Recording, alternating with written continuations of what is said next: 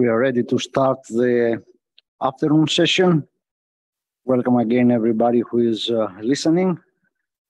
Uh, the first speaker is Preben Grosbol. You see already the introduction, the introductory slide on your screen. Interaction between spirals and bars in disk galaxies. Uh, yes, uh, thank you. Yeah, exactly. Okay, it is always a pleasure to visit Athens uh, and see distinguished colleagues and friends. Uh, what I'm going to talk about today is uh, interactions between spirals and bars, especially in disk galaxies, of course. And I will start with a short introduction. There's, of course, some repetitions in all this. Then I will discuss the actual amplitude of these uh, perturbations uh, from observations mainly. Then I will discuss velocity fields uh, in, in these systems. And finally, uh, mention some considerations on the stability. Now, some of the slides include movies and they are not feasible in this installation. So I uh, can only ask you to bear in mind and ask me personally. I have them obviously on my laptop. And if you want to see them, you can see them, no problems. now, uh, Yes, uh, we have already seen the Hubble classification. In the local universe, if we just take the revised Shapley-Ames statistics, then we see that, of course, the majority of galaxies, uh, more than 50% are spiral galaxies. Uh, it is interesting also to note that when you look on the ratio between normal galaxies and barred spiral galaxies, then there is a significant difference between the classification when you use the standard visual bands and the infrared. Typically, you will see very many more oval distortions and weak bars in the infrared. And that may actually go up to 70% of, of the cases in the near infrared. In the early universe, as we have already heard, the classifi this classification does not apply. Uh, they are much more chaotic. There's a much larger fraction of irregular galaxies in the early universe. Actually, when you look on the uh, star formation rate as a function of redshift, you will see that it will peak around redshift 2 and that suggests also from much of much morphological simulations that the early universe is much more dominated by mergers and more violent dynamics. Uh, and that is something which, well, one have to bear in mind. Now, there's basically, I would say, uh, several kind of spiral galaxies. There's, of course, those which are classified as non-barred. Some of them may have weak bars inside, as you can see, uh, actually 15, let me see, this one, 1566, actually is classified as a normal spiral, but it does in the infrared have a weak part. And that is actually a standard example of a bar which is disconnected to the inner spiral with have a 30 degree offset. Then we have, of course, a standard example of a strong barred spiral here, 1365, and a flocculent galaxy, or multi-armed galaxy, uh, 44, uh, 14.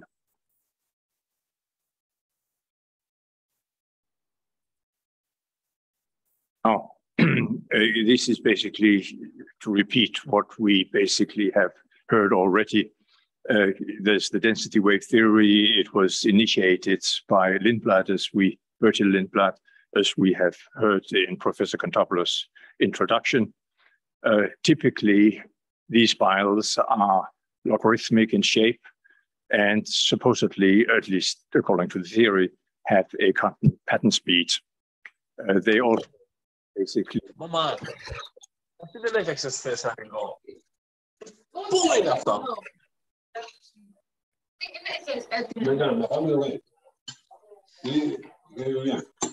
That some somebody has uh, his uh, it's not muted because we can continue and then we'll try to fix. Please don't don't speak there. Someone has uh, is has not muted uh, his uh, laptop, so.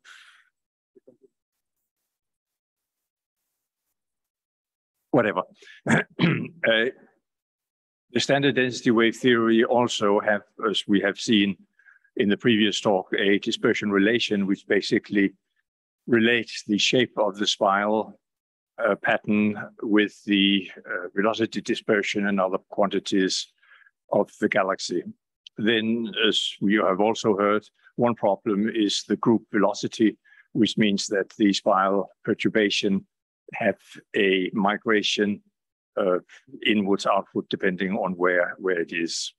This basically was counter argued with the modal theory of, of Lin, Bertin, and others, where you could reflect the, the density wave and have a, a reflected wave going back to co-rotation. Uh, there have been little discussion on that later. Of course, we also have the kinematical uh, waves, uh, which was also discussed by Bertil Lindblad. Then we have the swing amplification mechanism, manifolds. I will not mention that anymore because there's ample discussions in, this one. And as we have also heard, of course, material arm is uh, still uh, possible if it is a very short-lived spiral perturbation, uh, but uh, it will wind up fast as we have heard. Now, the standard models, and you will see uh, one of the standard figures of Rubin rotation curves. They basically have exponential disks they have uh, possibly multiple components, as we have heard, bulge halo. Whether or not they are uh, symmetric is another matter. I will go not into that. Spiral and bar perturbations, typically logarithmic spirals and bars. Uh, and of course, as you, you can here, this is the, the typical, you have seen it many times, typical components of this. Uh, again, I repeat, uh, the typical uh, consensus, consensus, I believe, is that uh, bars goes to somewhere between four to one and co-rotation, and spiral may extend from the inner Lindblad resonance to co-rotation if they are weak. Typically, they are supposed to be absorbed into co-rotation, and for strong spirals, they will probably end at the four to one resonance. Now, one of the problems we want to know more about is how to we characterize the spirals. And of course, there's a number of, of basic quantities. The extent of the pattern is, of course, interesting. Uh, there's an inner and outer radius. As you can already see on the background image, it is not so obvious where to put the inner and outer radius of such a pattern. The inner radius, uh, you can argue for, is somewhere here, but is the outer radius here when, when it starts breaking up? Uh, what is the main pattern? There's a nice spiral arm going out here. Is that the outer edge? It is a complicated issue, even in, in reasonable, nice galaxies. Normally, the galaxy, or very many galaxies, have a more symmetric inner spiral and then breaks out in the outer parts. That basically means that the definition of inner outer radius of these things are not always easy to define. Likewise, of course, you can measure the pitch angle, but the pitch angle may not either be so unique. You can see that the, if you have a nice two-armed spiral inner structure, you can easily measure that one.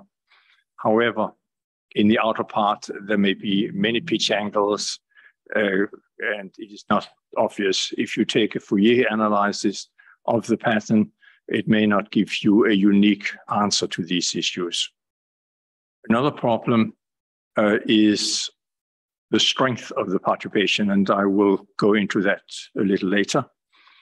Uh, the basic issue is that in most images, uh, you have a problem of the mass to light ratio variation due to the different populations. They're typically young stellar populations in the arms with a uh, very low mass to light ratio and older populations in the inner arm regions, interarm regions. And that makes it extremely difficult just from photometry to make these estimates. Of course, then there's the pattern speed. There's basically either you try to, to say, okay, good, we know that, that spirals are going to end at certain resonances. And then you say, okay, if we know the rotation curve, then we know the pattern speed if we can identify uniquely one feature to a certain resonance. That, however, is not always trivial. And then, of course, there's velocity method, methods, which, uh, like the Tremaine-Weinberg method, again, there it is used, it seemed to be valid in many cases. There's still the assumption on that there's no phase transitions. That is still a slight issue uh, if you discuss gas measurements, which may turn into stars. Now, the strength of the spiral perturbations, as I said, is an issue. Uh, the, the, traditional way of measuring them is the, the well, magnitude difference between the arm and the interarm region surface photometry. There's also been similar measures, some more integral measures have been tried.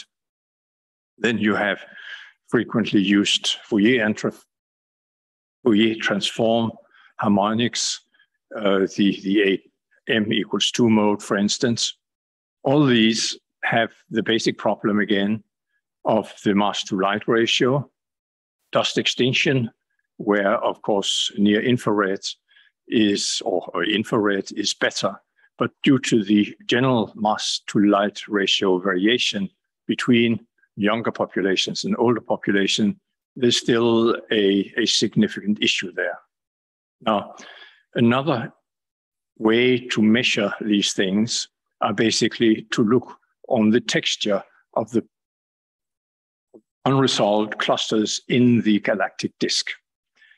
Uh, this has been tried uh, earlier. There have been uh, attempts, successful attempts to measure distances to elliptical galaxies using this method where the fainter the galaxy, the less clusters you see because of the density function of stellar clusters.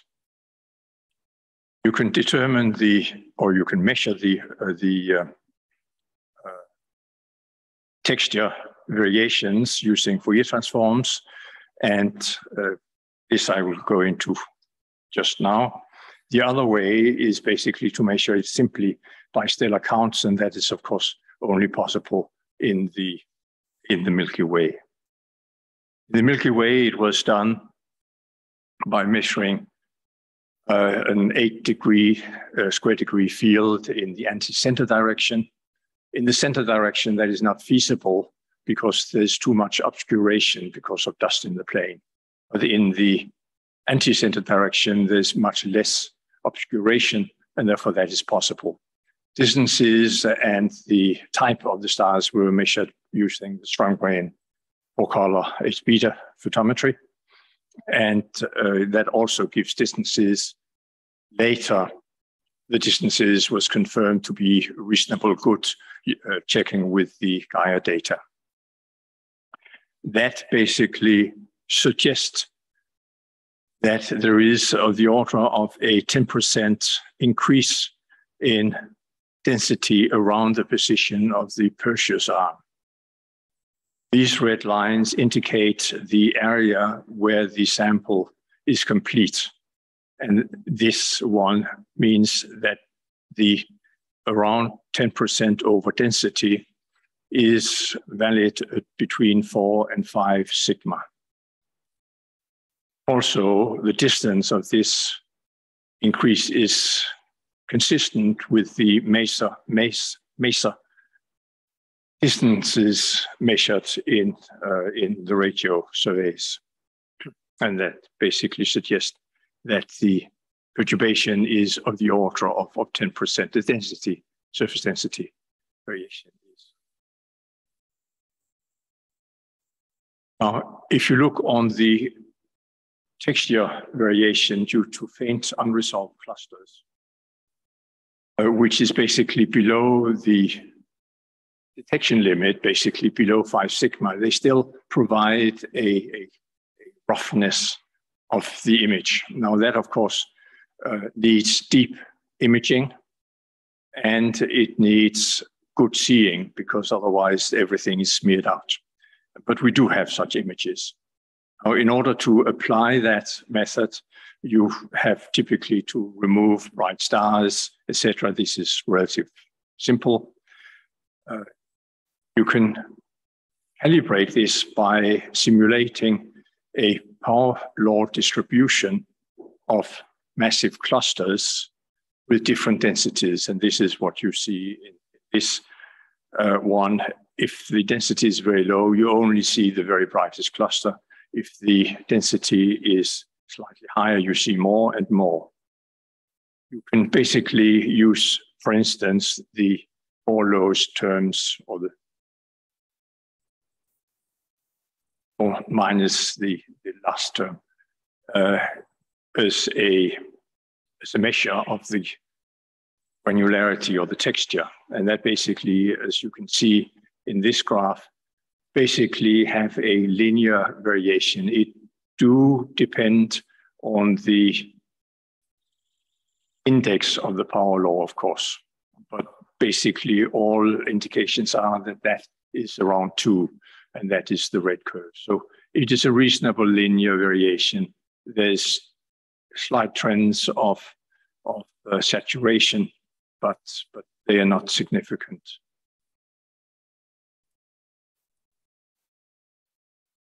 So accurate. Now, the, the galaxies we used is are those plus two more, which for some reason got lost. I will mention later. you can see that this is uh, our friend 13, sorry, 1300s. Uh, there's a number of open spirals. There's also narrow. This is the background image. Uh, there's a number of cases here with, with typical grand design galaxies. So if you look on what you measure, then you will see actually eight galaxies here. And these eight galaxies, for each of these eight galaxies, you see a, a blue curve, which is the m equals 2 amplitude of the Fourier transform. So this is a very standard measure, but in the K-band. And the red curve is the value obtained from the estimate of granularity along deprojected circles in the galaxy. And you will see that there's actually uh, somewhat differences here. Uh, there's more, in many cases, more than a factor of two differences. A typical problem in the Fourier transform method is that they often, in the outer part, reach very high values basically because the interarm regions basically disappear. And then you basically have a Fourier transform of a delta function, which means that the results are, are unrealistic. This is, of course, not the case when you look on the granularity measure. You will see that a, a strongly barred galaxy like 1300 actually have a relative density, surface density variation of, well, in the main bar of the order of 10% up to 20% in density. This is not dramatically strong. It is nothing like the up to 60% you get from the A-band photometry.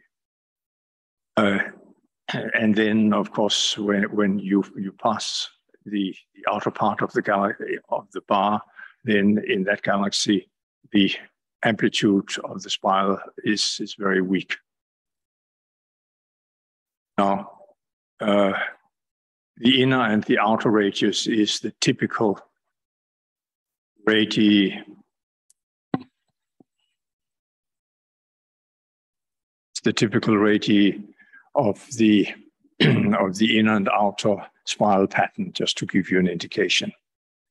All of these cases, you see that that uh, the the texture estimate basically gives you uh, low amplitudes and decreasing amplitudes out, whereas the the K-band photometry does not do that.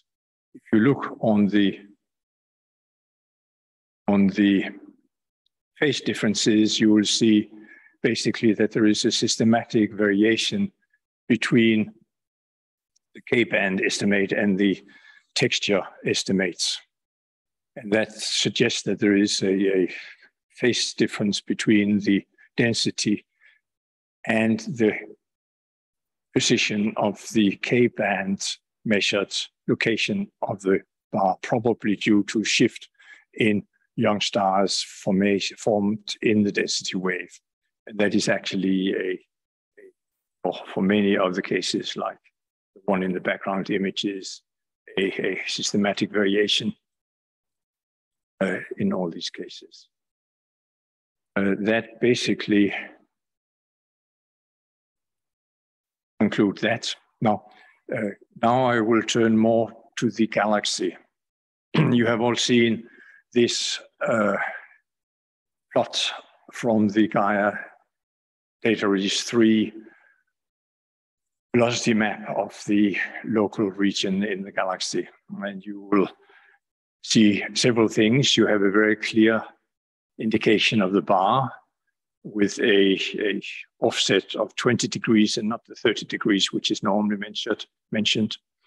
Uh, they estimated the pattern speed to be 40 uh, kilometers per second per kiloparsec. One issue is that they don't see any significant spiral structure, which you could assume they would see. Now, there's several reasons for that. Their radial velocities, which this plot is based on, of course, is mainly uh, representing older stars with higher velocity dispersion. Also, the less stars in the plane where the amplitude of the spiral perturbation probably is stronger. Uh, and further, there is significant extinction in the plane, which also means that they do not see many of the stars in the plane. And that can explain why they don't see any significant spiral structure. Uh, not as you would, maybe some indication there, but it is not so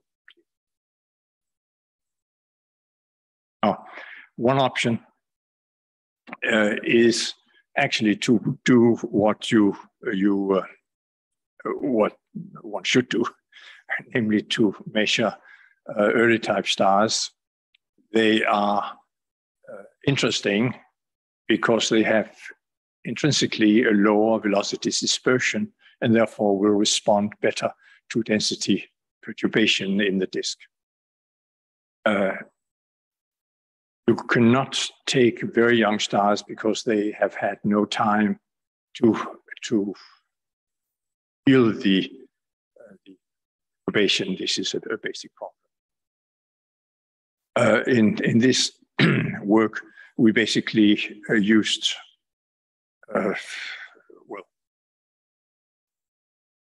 estimates uh, proper motions from the Gaia satellite and distances.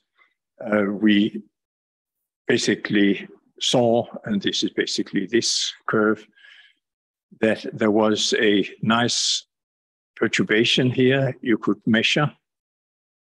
We saw no indication of any potential increase or, or velocity response, which you would expect for a four-armed spiral with the Sagittarius arm as a major spiral arm, which made us conclude that the Sagittarius arm, although having star formation in it, is probably not in the potential a major spiral arm.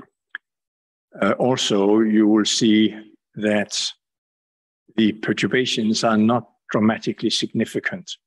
The basically the velocity uh, perturbation is of the order of five kilometers per second, which means that you have to make these measurements uh, rather accurate to see these things. These five kilometers per second basically correspond to a force, radial force variation of a little less than 2%, which is not a dramatically strong perturbation. You compare that with different models, uh, you can see a number of them here. we have uh, we used an extremely simple manifold model with the dotted lines uh, and, and, several other indications here. Uh, you will see that the manifold, although an extremely simple model, uh, did not did not reproduce the velocity peak we saw around four kiloparsec from the sun. but still, the uh, the errors here are extremely uncertain because of the difficulties in, in doing the measurement. Now, one problem is that, that you can see that these models do vary, but further into the galactic center. Therefore, there is an interest in having a better description of what different models will give of velocity perturbations in the inner part of the galaxy, because that will be the only way in which you can actually measure these potential variations star counts doesn't work. If There's not many things else than, than trying to test the velocity field of these things. In order to do that, we made a, a number of models of the of the Milky Way. We basically uh, did a, a, very traditional uh, 2D model of the galaxy, very standard uh, bulge disk halo. Uh, then we had a spiral and a bar perturbation. The only difference between the normal uh, thing is that we introduced a cutoff uh, because they're easy to differentiate. Uh, then we used a tangent hyperbolicus. Truncate the spiral. It may be a little violent, but, but this is what uh, we used a log grid of, of, this size in this range. Uh, since these things are, very cheap to calculate, it was easy to make uh, models with 100 million particles. Using the logarithmic, polar logarithmic grid, uh, you have a reasonable amount of particles in each grid cell, namely between 3 and 7,000 which actually means that you can determine the mean velocity and also estimate of the dispersion. Uh, but the mean with an error of a few kilometers per second, that is required in order to compare with observations, although we don't have the observations yet. Obviously, the interest in using the, the polar, uh, the log or grid is that uh, you have a, a different view of life. Uh, this is the, the standard one. Uh, you see that you have a, a, inner bar here. You have an empty region here, which is the inner limit of the grids, and you have an outer limit here. You see that. This is basically the same perturbation but you see that, of course, logarithmic spirals are straight lines in this plot. Uh, this is the var, and this is an offset because of the a, a in a, in Lindblad resonance. Uh, now, the basic issue for making, or the basic reason for making these models were to look on the distribution function near the resonances, and of course, uh, study how that affects different models with different pattern speed for the spire. And uh, in order to compare that with velocity fields, now uh, one have to measure these ones. The Gaia velocity fields are non-appropriate because they will not reach in the plane far enough into the center. Uh, but but well, other means will do it. Now, uh, this is one of my movies, which is a standstill. Anyway, uh, these are, are, one of the models with uh, with bar only. You can see the the manifold spiral very nicely here. Uh, this is the the surface density variation. This is one velocity term. This is the radial velocity term. These plots are basically as a function of time of the, uh, of the model. Uh, it is the m equal 0, 2, 4, and 6. This is the noise in the model, and this is the phase. Here you basically can, uh, can see the, the lines, the dotted lines are different resonances. Here you can see that, of course, since it is an imposed file, then the base differences here is basically very uh, systematic and basically reflects the, the pattern speed.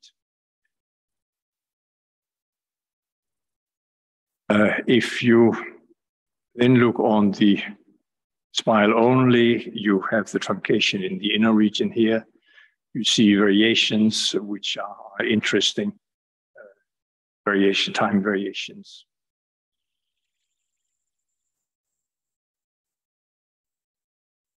In the combined one, you see, of course, a, a high degree of interaction between the pattern speed of the bar and of the spiral. I should say, of course, we have a grid of models. This is just one with the pattern speed for the spiral of 15 kilometers per second per kiloparsec. 40 for the that here because it is fixed. There's no time in the spiral region variation because this is in a wave.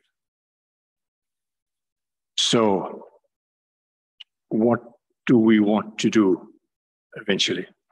Uh, we want to measure velocities uh, towards the center of the galaxy. Uh, we want, in principle, to measure and that we partly have done already in the center direction. The problem in the very central part is that the inner rotation curve of the galaxy is not all that well known because the bar perturbation, the amplitude of that is not all that well known. One trivial solution to that is to have two lines of sight, uh, lines of sight more, one plus, say, 20 degrees, one minus 20 degrees in, in uh, longitude. If you look on the line of sight velocity or the transverse velocity, either the sum or the difference of these will cancel out the rotation of the rotation curve. And that means that these are the, the interesting figures for a flat rotation curve, or that should be zero. And then you will see variations here, and this is a grid of models where you can see uh, different parameters variated. And you can see that certain things is very easy to detect that it is not the case. Others are very tricky things.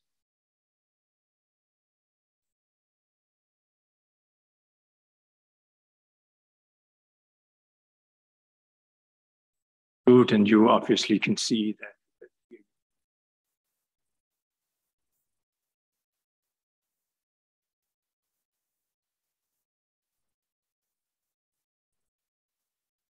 pattern speed is easy. Extreme values to, to Bar length is more tricky. Basically, you have to reach of the order of six kilometers, six kiloparsec from the sun towards the center of the galaxy, and that is unfortunately quite far. That means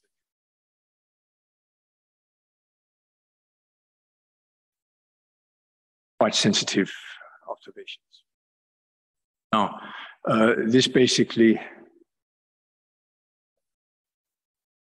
summarize uh, here the parameters we now know, we think we know.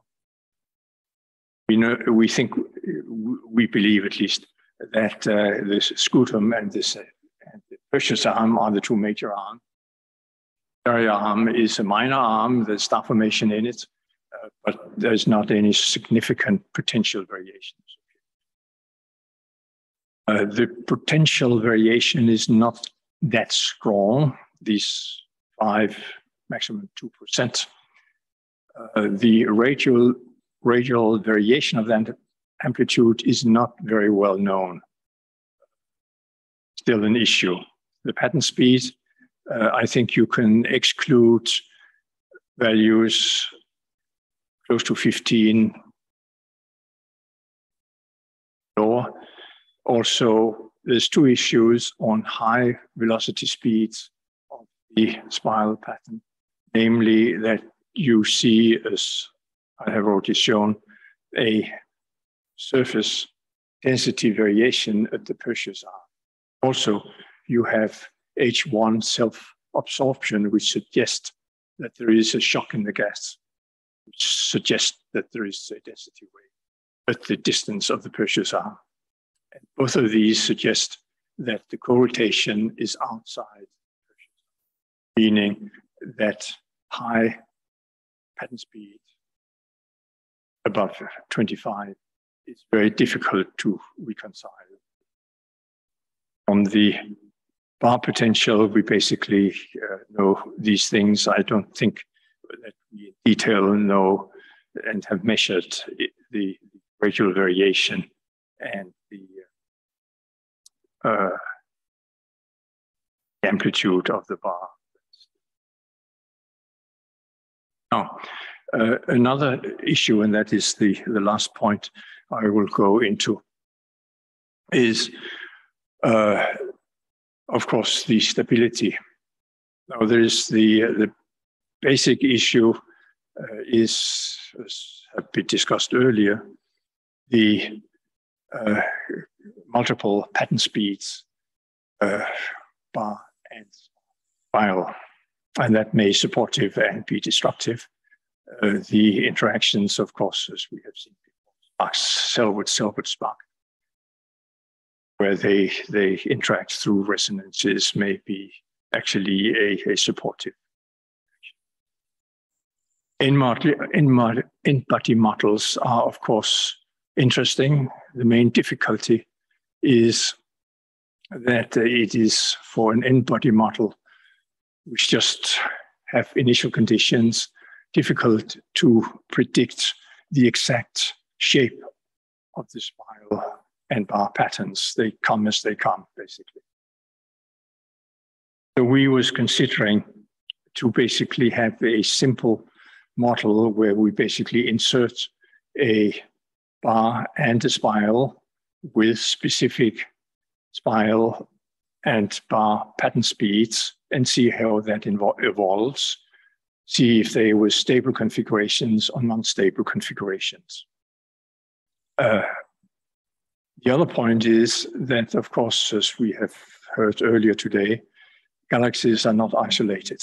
They basically will experience major mergers more, more frequently in, in earlier times.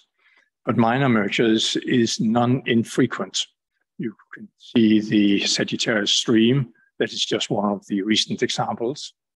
Of course, such effects are very dependent on the impact parameters of such parameters, and some of them may only make oscillations in the disk in the z direction. Otherwise, uh, they may not do much harm. They make rings if they hit correctly. They, I'm sure, can make spirals if you just tune them right. This is an issue. and therefore, it is not all that obvious uh, if stability over very many giga years is of any relevance in dynamic models. I think if you have patterns which are stable in, in a few giga years, you should be satisfied because anyway, they will be destroyed by some minor merger. And that makes many giga years uh, models interesting, but maybe not so relevant for many of. Oh, so what we did was a, a very uh, trivial thing.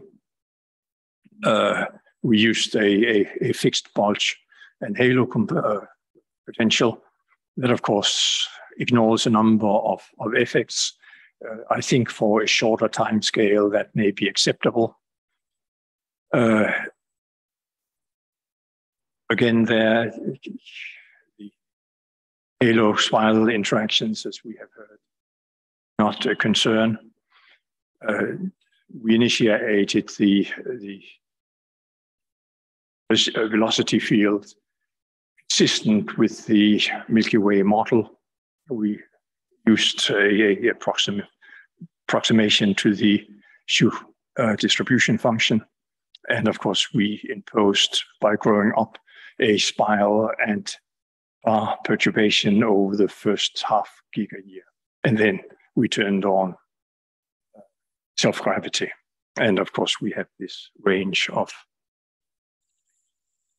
uh, I'm retired and therefore have a small budget. Therefore, I'm interested in cheap methods.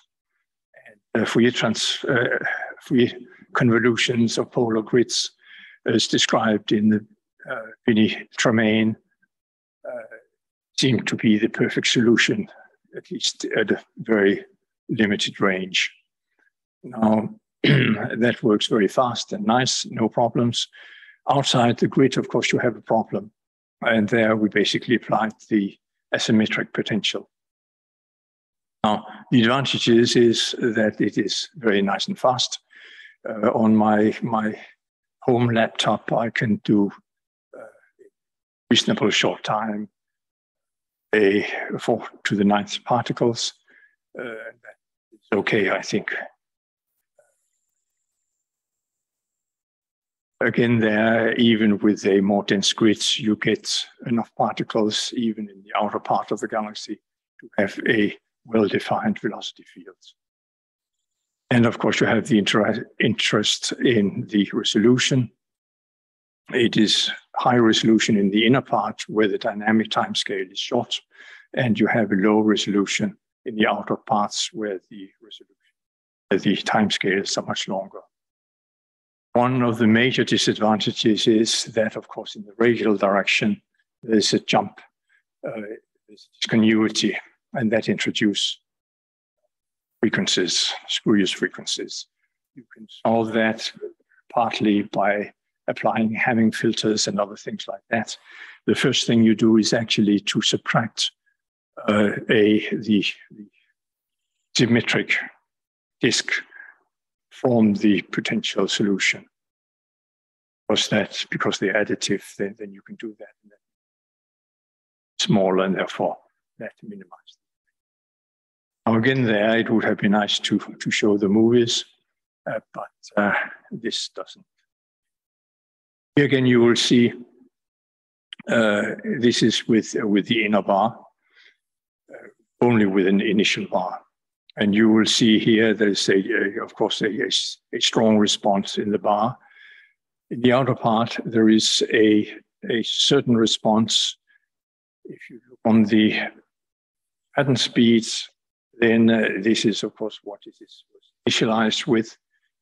Uh, there seems to be a, a, response here with a significantly slower pattern speed, but not a constant pattern speed.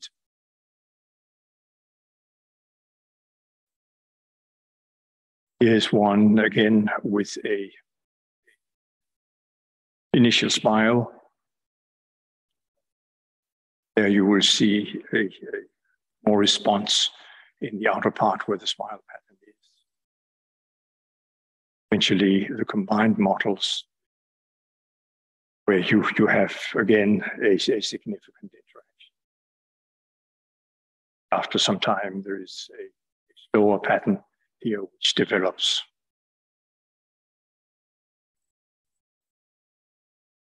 The, the very preliminary result is that course, the, the bar pattern speed depends on the inner rotation curve. With the bulge parameters, etc. You pattern speeds. Uh, we didn't find any longer persistent and design spirals. Cases we have tried. Uh, the, longest time we had persistent which was not all that convincing. Uh, we still have the, the problem of spurious frequencies, as I said, and distribution function we probably have to do.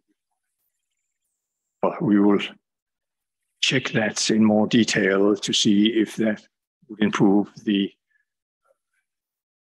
activity of the spiral cyst. So in brief summary, uh, I will basically say that uh, surface density variations are typically up to 20%. Anything more than that is probably not.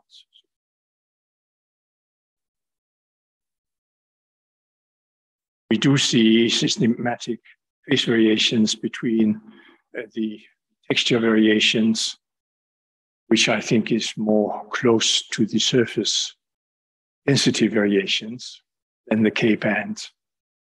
Or again, a word of caution, uh, K band or even more red observations are certainly better than visual observations. However, they still should be taken with significant amount of caution. Now for the galaxy, uh, we have measured the, in that sense, the Superman uh, strength in the forcing, in radial forcing, uh, to, to a little less than 2%.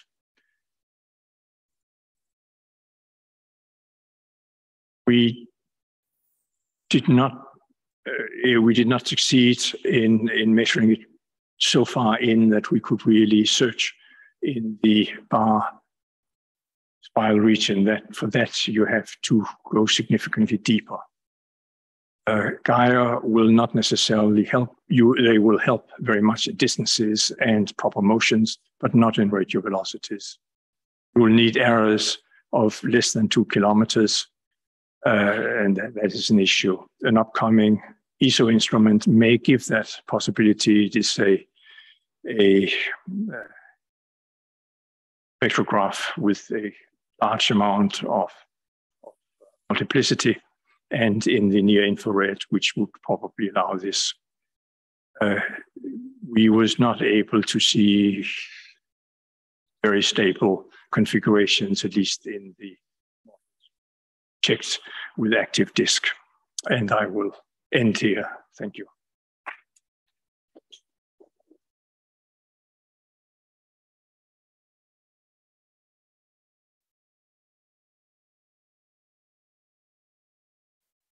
very much, Preben.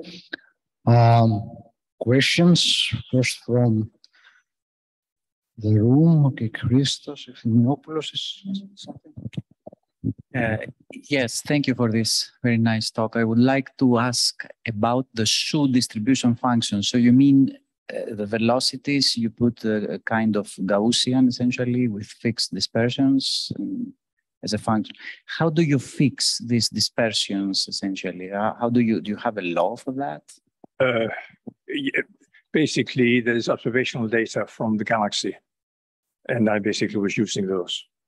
So you just observe as a function of distance, let's say, and yeah, and these you can have in all directions out of Gaia with, let's say. There's local measurements of, of these quantities from Gaia, yes. Yeah. Are there variations in the amplitude of the various uh, spiral arms in the Milky Way, or see always the roughly the same amplitude? For instance, what is the, could the amplitude of the Perseus arm be considerably different from the amplitude of the Scutum arm, etc.? If if the if there is a difference in the strength of the various arms in the Milky Way, this is the question. Too many. Well, and then those that we see. we, uh, we we have well this velocity measure from the Scutum arm and then there is the Perseus arm, which is a stellar count measure. Mm-hmm. Exactly how you model uh, the, the, the set variation uh, is, is a tricky matter.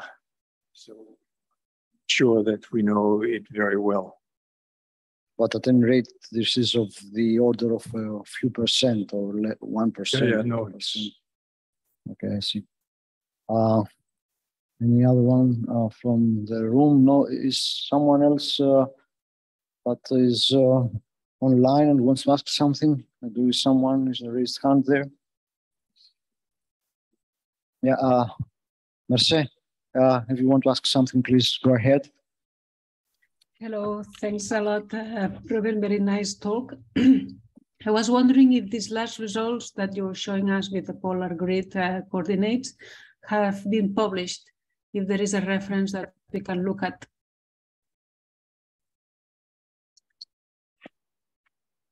Uh, yes, yeah. Oh, uh, sorry, uh, one more time, yes. Good, so if, if, I, if we can have this reference, it would be very nice to have to have a look with these very nice results. The other thing is that um, we know with, with Gaia, uh, we provide parallaxes, and of course we need um, to transform these parallaxes to distances. What, what do you use to estimate the distance to these sources? do you invert the parallax directly or? We basically use the, the Gaia parallaxes. Okay, good. And the other, the, the other thing I wanted to, to have is just a, a, comment. You mentioned MOONS to allow spectroscopy for uh, with very precision. And I also wanted to add um, WEAVE. WEAVE is seeing the, the, the first light uh, soon. And there is a dedicated WEAVE and, and 4MOST, but WEAVE is coming first in the in the north in La Palma. It's a multi-object spectrograph, and there is a dedicated survey in the disk for um, for red clump stars and on the one side and for um, young stars OBA stars in in the other side for which we will have precise radial velocities. So it will be interesting to to have a look at these radial velocities as well. I and we will will reach because it is in, in the low resolution mode with uh, to complement Gaia radial velocity, so it will go into the faint end well, it, it's a matter of, of quantity yeah. of data because there's the variations in velocity expected for the spiral perturbations are only a few kilometers per second. You need uh, reasonable good statistics. Yeah, yeah, yeah. For the for the ones for the giants, we, we expect to have about uh, a million uh, radial velocities in the disk from L to 20 degrees to, to the anti-center. And for the for the younger ones, they have a, a, a I think one an order of magnitude less, about two hundred thousand or something like this. but at, at least it will be a good, a good start. I, I look forward to the data. Mhm. Thanks again. Okay, so if uh, there is no further questions, thank, thank you again. And we move to the next talk. Mirela Harsoula will be giving it.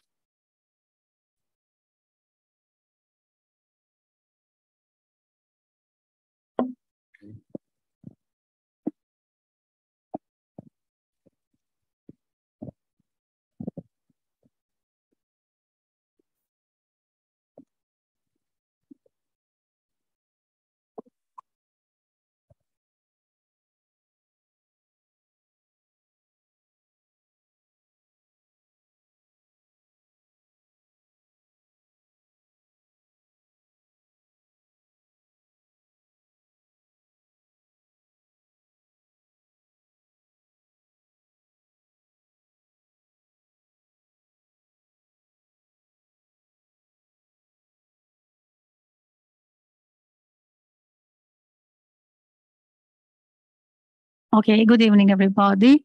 Uh, my talk is about the building blocks of the spiral arms in galaxies.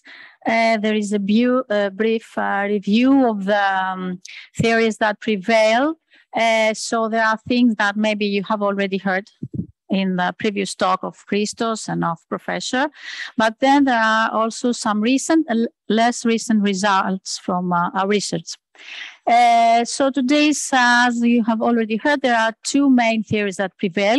For the case of grand design galaxies, like the one on the left, uh, which has no bar, it's the density wave theory, according to which they are ordered orbits that can support the, the spiral density, the, the spiral arms uh, which are uh, well defined and symmetric. While in the case of uh, barred spiral galaxies, like the one on the right, and like our own Milky Way galaxy, the theory that prevails is the manifold theory, according to which chaotic orbits can support this spiral structure.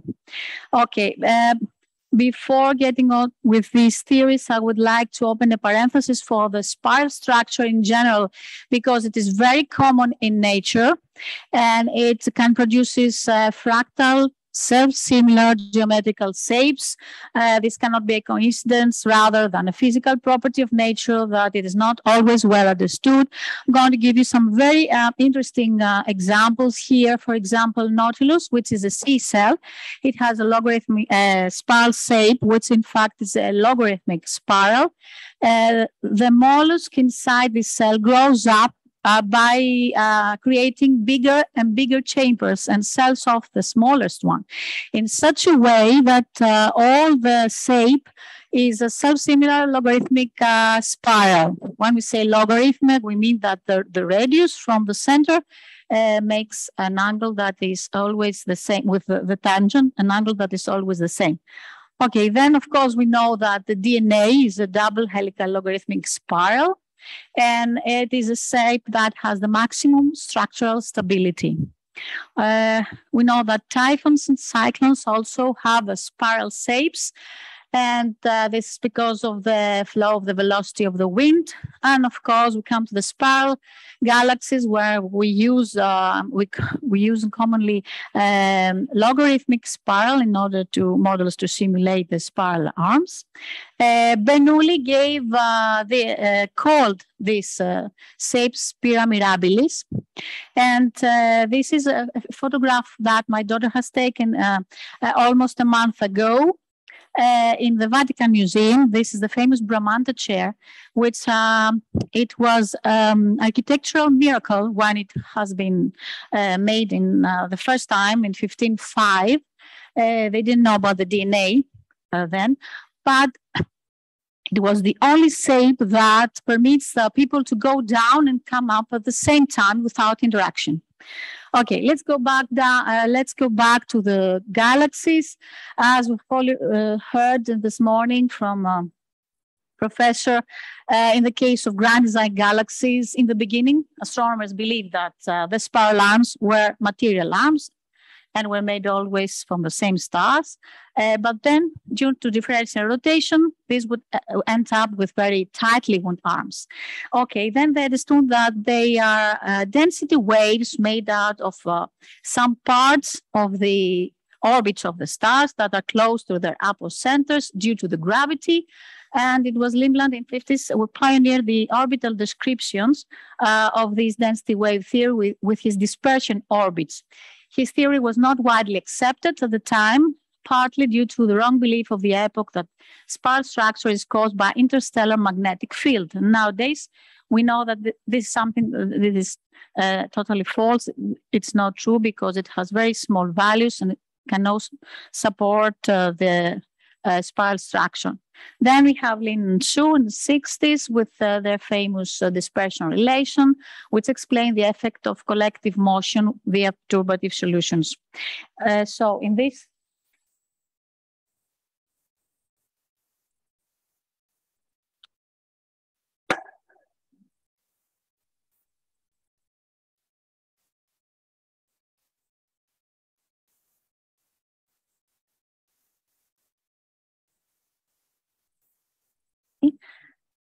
Uh, okay, in this uh, dispersion relation, there are two quantities. There is a correlation between two quantities. This is the pattern speed that tells us how fast uh, this uh, density wave rotates with the uh, pitch angle that, that, tells us how open or closed are the spiral arms. Uh, this relation requires more physics because it does not take into account at all the, the amplitude of the perturbation and then if we take into account the amplitude, we, we must go to the non-linear density wave uh, theory. Uh, then we have the famous uh, uh, picture of the precessing ellipses that Kalnajs gave for the first time in 1973, uh, when he saw that this density wave can be made out of orbits that have um, elliptical shapes, and the main axis of the uh, ellipse, uh, elliptic, elliptical shape is precesses with the energy with, with the radius and can form such beautiful shapes. And he even computed the response spiral potential. Uh, finally, Contopoulos in 1975, uh, using resonant Hamiltonian perturbation theory, was able to give an explanation of this force ellipticity, and he even calculated the number and the stability of these periodic orbits. He have found that there are three kinds of uh, periodic orbits in uh, such models named X1, X2, and X3 and uh, by using uh, uh, action angle variables in phase space, he found these periodic orbits. And from there on, there are many numerical examples uh, in uh, of these precessing ellipses in 2D and 3D self-consistent models of spiral galaxies. Okay.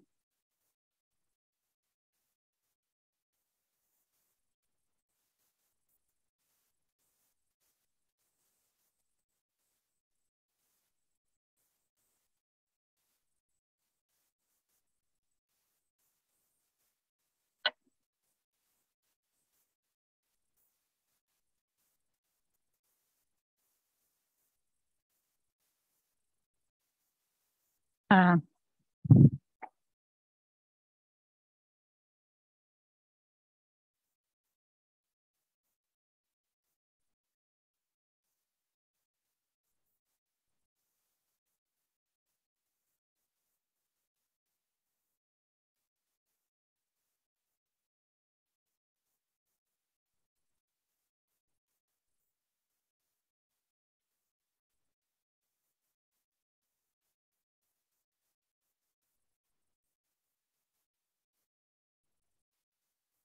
back where we were the beginning.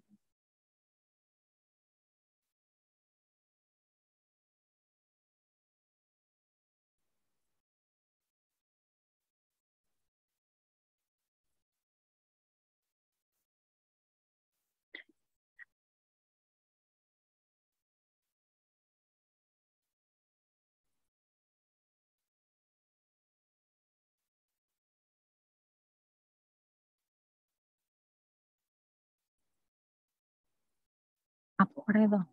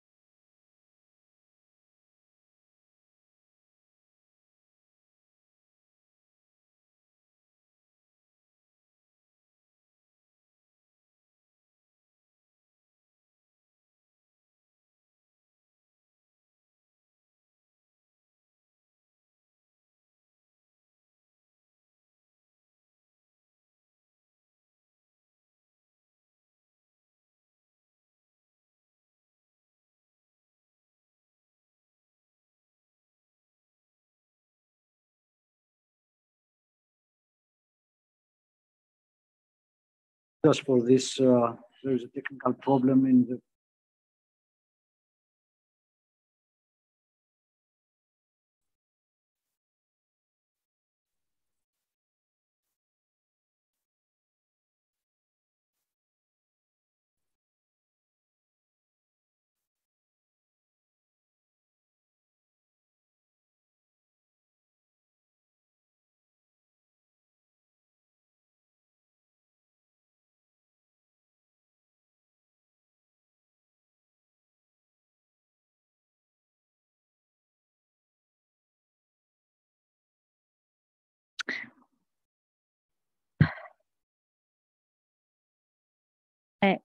πάνω δεν φαίνεται να επικοινωνεί.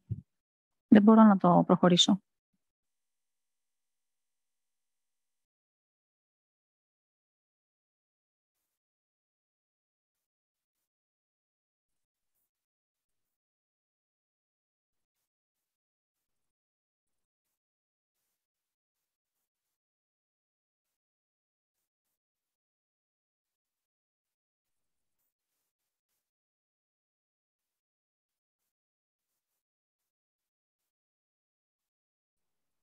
Όχι, όχι, όχι, όχι. Όχι, δεν, όχι. Ε, γιατί έχω πάνω.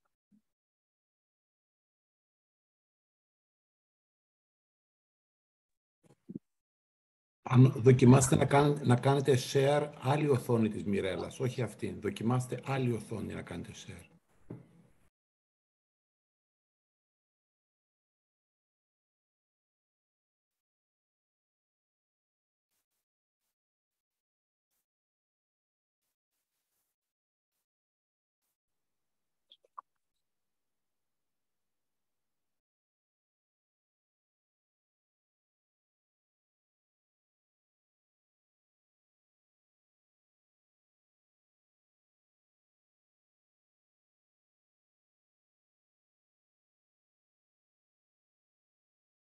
We're very sorry for the interruption due to technical problems. So, okay, we continue. Here are some recent results of our research uh, for the uh, ellipses uh, in the um, for the spiral density wave using precessing ellipses in a Milky Way-like model. Uh, we use um, a model that has an axisymmetric part made out of bulge, a disk, and a halo. Uh, then we use a logarithmic uh, spiral potential. And we know that uh, the spiral density waves, uh, in fact, are bounded by some physical barriers. uh, that uh, these physical barriers are, in fact, some main resonances. So we have already seen before that in order to find the main resonance, we have to plot this figure uh, for the angular with the angular velocity of the circular uh, motion, the epicycle frequency, and the combination between the two of them, omega minus and plus kappa over 2. Uh, then if we put a pattern speed, which is this uh, red line, we can find the, the, the sections with the omega minus kappa over 2, which is the inner Lindblad resonance. In our model, we have two inner Lindblad resonances. And then the section with the angular velocity, the black curve, gives us the corrotation, which is the radius, where the stars have the same uh, speed with the pattern. Uh, and then with the use of convenient action angle variables, uh, we have the phase space that helps us uh, find uh, these periodic orbits that in fact support the spiral structure. Uh, so we have the X1 family, as we see here, which is the black uh, periodic, stable periodic orbit. In the middle of the black islands of stability, which we see that are found all through the energies in the whole system. Then we have the X2 family, which is the red uh, islands of stability, and the X3, which is the blue dot here, which is unstable and not support at all the spiral structure. And um, of course, we have some uh, free parameters in our problem that we want to test. This is the um, amplitude of the perturbation, of the spiral perturbation, rho uh, zero. It's the pattern speed that tells us how fast this rotates, and it's the pitch angle that tells us how open or closed are the, um, the spiral structure. Now, we try uh, in this study to find some correlation between these uh, three parameters. Uh, this is another value that uh, helps us um, uh, with uh, the study is the, ampli the amplitude S of the epicycle oscillation for a particularly closed orbit. And it tells us how far is the ellipticity of the orbit from the circle and uh, let's focus on the black curve, which gives us uh, the S as a function of radius for the X1 family, which is responsible for the spiral density wave. Uh, the spiral density wave is located between the second inner Lindblad resonance and the 4 to 1 resonance, as it has already been told before, because there the orbits become rectangular and they can no longer support the spiral structure. And um, here uh, the S is a decreasing function of radius, as we can see, because in the other case where S is an increasing function of the radius, the epicyclic or uh, the um, ellipticity is uh, very big of the orbits and they intersect uh, with each other and they can no longer support the spiral structure. So here we can see the very well uh, defined uh, spiral density waves made out of these precessing ellipses uh, for three different values of the perturbation. Uh, so here we try to find the dependence on the amplitude of the perturbation. We have taken three values, 5% uh, in relation with the axisymmetric background, 15%, 30% uh, of the perturbation. We know that in real grand design galaxies, we can find up to 15 or maybe 20%, but the 30% is a value that is unrealistic. So uh, let's focus now on the phase space. Uh, we see that for this case of the 5% of the perturbation, the main uh, uh orbit uh, X1 that supports the spiral structure is stable Uh, all through the energies. And so we can uh, have a very well defined uh, spiral structure made out of these precessing ellipses.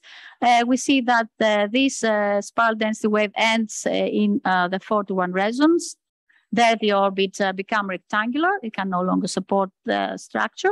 When we go in larger perturbation, we see that chaos is introduced. See here, here in the phase space outside the second inner Lindblad resonance, but there are still small islands of stability. And that means that the X1 family is still uh, stable and it still has material around it and can support the, this uh, spiral structure. But if we go to larger values, to 13%, we see that the chaos, uh, the um, phase space is full of chaos, and there are no longer uh, stable periodic orbits X1 that can support the, this uh, structure. However, we have plotted the uh, precessing ellipses of the unstable now X1 periodic family. This is an unrealistic model. Okay, then we want uh, to see the dependence on the pattern speed. We take three different values of the pattern speed, which are more or less realistic for grand design galaxies. And we see that when uh, the pattern speed decreases, the main resonances go to larger radii uh, the wave itself goes to larger radii. And uh, here for the smallest value, we see that even the amplitude of the spiral density wave becomes larger with the, the radius. And this is something that can be observed in real galaxies. Finally, we try to find the dependence on the pitch angle, A. Uh, we see now that uh, we have uh, taken three cases um, of some realistic values for the pitch angle. Uh, for the smallest uh, value of 5 degrees, we see that there is a lot of chaos. And the X1 family is not uh, stable, not anymore. Uh, so this uh, forms a very uh, tightly wound spiral arm, which is not realistic. But then we see for the bigger values of the pitch angle that we have against islands of stability and the X1 family is still a stable periodic orbit and it can form a realistic, uh, very well-defined open spiral arms. Now, uh, the most interesting result of this study is uh, this table which helps us uh, uh, find some correlation between the three parameters of our problem. So if, if we put the amplitude, uh, the pattern speed, uh, the pitch angle, uh, below which the X1 family becomes unstable outside the inner Lindblad resonance, we can find uh, that statistically strong spiral arms have statistically more open uh, strong spirals have statistically more open spiral arms, and spirals that spin faster can be statistically tighter than slower ones. Well, this is a result that has been confirmed um, earlier from uh, observations uh, like this one figure from uh, Grosbol et al. in 2002, who uh, is a figure for uh, real uh, observed galaxies and tells us that uh, for galaxies that have um, stronger spiral arms, they have also more open uh, spiral arms. Uh, but this is also a result that has been uh, confirmed in the case of uh, bar spiral galaxies, like here in the paper of Athanassoula et al. Now, as uh, uh, you have heard before, when we go in the case of bar spiral galaxies, there are no more ordered orbits in the region of rotation. Uh, so it was a great puzzle for the ast astronomers for many years. What kind of orbits, in this case, can support the spiral structures? The first uh, figure uh, was given by uh, Danby in 1965. It was the first uh, chaotic orbit that uh, supported a spiral structure. It was, in fact, um, chaotic orbit emanating from the uh, uh, unstable uh, Lagrangian point at the end of the bar. He didn't give much of an explanation at the time, and there were many years that there were no studies at all uh, for the spiral arms in bar spiral galaxies. Uh, this is a figure that we like very much, and we have understood it. It's the third time uh, that we saw this figure today because it's uh, the first time in 1996 in a model of uh, self-consistent model of bar spiral galaxies by Kaufmann and Contopoulos that they have shown for the first time that a chaotic orbit can support the envelope of the bar as well as the inner parts of the spiral arms. They called these uh, orbits hot population at that time. Uh, and then we come to 2006 where as it has already they've been told. We have the manifold, the introduction of manifold theory. Uh, this figure also that you have already seen today uh, tells us that chaotic orbits indeed uh, have velocities that are parallel to the spiral structure. And we have uh, the manifold th theory in two versions. The one is the apocentric manifolds, and the other is the tube orbits of the unstable invariant manifolds that gives us uh, ring-like structures and spiral arms uh, that we see in uh, real galaxies. Now, the unstable asymptotic manifolds have uh, many, uh, many interesting applications uh, in dynamical astronomy, but as well as in other fields like in celestial mechanics, because many missions have been uh, uh, used uh, in order have been used have used asymptotic manifolds in order to um, in order to send some spacecrafts in halo orbits of the Lagrangian points of the Earth-Sun problem. And uh, here, for example, we see the International um, Sun Earth Explorer mission, uh, who, who, were designed uh, using uh, asymptotic manifolds uh, in order to send uh, the spacecraft in halo orbit around the L2 point and in order to study the interaction of the magnetic field of the Earth with the solar wind. And then the same mission was sent to a comet. Uh, so here we see the um, uh, tube manifolds, the tube manifolds of the L-Sun problem around the L2 uh, Lagrangian point. And of course, um, uh, we have the application dynamical astronomy, uh, where, as you have already uh, told before, we have the Lagrangian points at the end of the bar.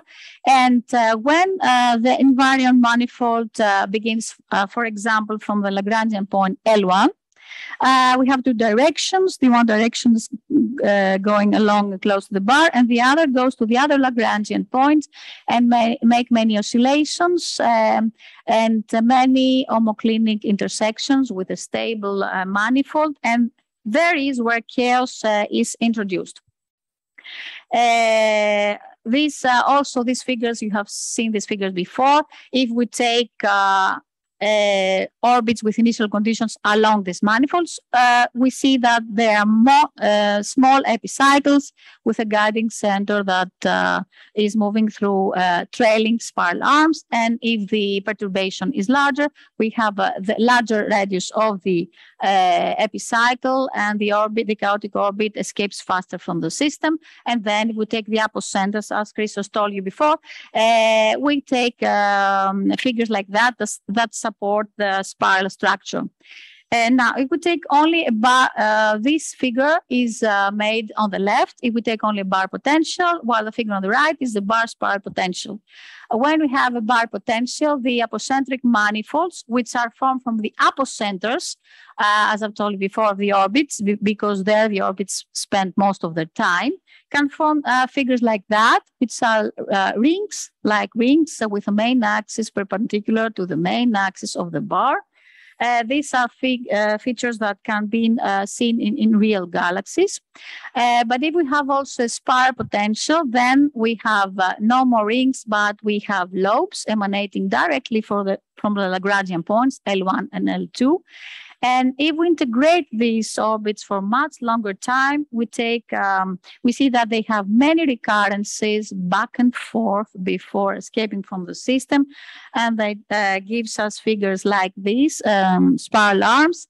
And the main conclusion out of all this is that um, every dynamical system has um, certain paths that are formed uh, from the unstable manifolds, and not only uh, from the Lagrangian points, of course, but uh, as Chris has told you, from all the unstable periodic orbits in this region, and as well as the Lyapunov orbits. And so the chaotic orbits are forced to move uh, along these paths due to stickiness phenomena. And so they stay there for a very long time compared to the Hubble time, and they can support structures like these ones.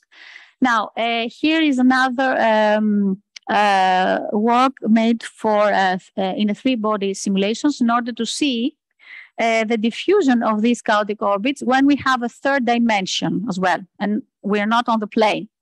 Uh, so uh, this is the Jacobi constant, which uh, in fact is the energy in the rotating frame. And here we plot the distribution of the Jacobi constant of all the particles. And we have separated uh, the particles that move in order orbits from the particles that move in, in chaotic ones uh, using a version of the Lyapunov characteristic number. So we see that uh, above energy that corresponds approximately to rotation all the particles are almost chaotic. Um, but if we made a frequency analysis of this uh, population, of these chaotic populations, uh, using this frequency ratio, we see that uh, we have spikes uh, um, close to some uh, frequencies, to some well-known resonances. And that means that these chaotic orbits are sticky and stay there uh, for a long time. Uh, for example, in this diagram, 300 uh, units of time correspond to Hubble, to Hubble time.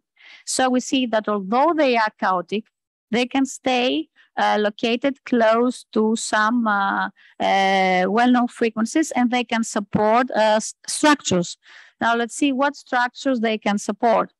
this frequency here, which is a 3 to 1, uh, we, we will uh, not going to see in what kind of orbit uh, this uh, gives us. This, in fact, it's a, a, chaotic orbit that if we integrate it for a short time, it gives a triangular shape like this one. That's why it gives us the three to one resonance.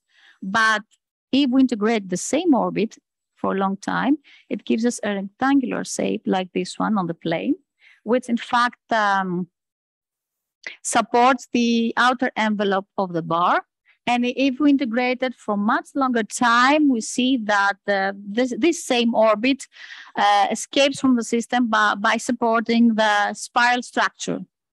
Uh, these also, the B and C are also uh, orbits, uh, sticky chaotic orbits in well-known resonances, uh, two to one, uh, which correspond to three-dimensional periodic orbits, X1V1, X1V2, which are well-known periodic orbits that support the, the, the structures.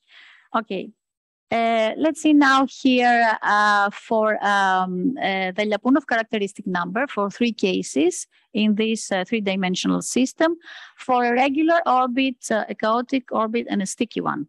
So the Lyapunov characteristic number for the chaotic orbit convergence in a positive value before the, the Hubble time. And then the regular orbit converges to zero with a well-known slope while the sticky orbit, we see that it behaves exactly like a regular orbit. And then uh, later on, after much longer time, it converges to a much smaller positive value. So uh, one cannot distinguish between uh, regular or sticky orbits for a long time. And so um, we can say that they have the same behavior. Uh, this orbit is plotted here in the phase space using the method of uh, color rotation of Patsis and Zachilas. And the third the fourth dimension is um, uh, plotted by, uh, by color. It is a sticky orbit in the simply unsta- in a simply unstable periodic orbit of X1V1 type. And we see that after a very long time, these scattered dots here as, uh, shows us that uh, the diffusion have started, but after a very, very long time. So if we plot uh, here uh, the isodensities of uh, uh, families of chaotic uh, of chaotic orbits, but once they have cross corotation, now we see that uh, there are uh, orbits uh, close to frequencies 1 over 2 and 1 over 3, which begin uh, inside corotation, but they can cross corotation after some time. These orbits support the outer envelope of the bar as well as the inner parts of the spiral arms, while the isodensities of other um, frequencies uh, like the minus one to one or the PL2, which are in fact Lyapunov orbits, uh, support uh, the outer parts of the spiral arm and they stay uh, close to the plane. Uh, they don't have a very important third dimension. So we see that even if we have a 3D system, uh, due to stickiness phenomena, to the manifolds, uh, we can have chaotic orbits that support uh, the, the features uh, of the galaxy. Uh, all these have been made, of course, for one pattern speed, but as Christos have told you before, we have tested the manifold theory for the case of uh, two pattern speed. I'm, I'm, not going to give you here more details. Uh, we have seen that um, these uh, uh, these apocentric manifolds, in the case we have two pattern speed, are time dependent. Uh, they go uh, in a clockwise uh, version, and they can still support in most of the time uh, the real um, spirals from the potential for the spiral potential.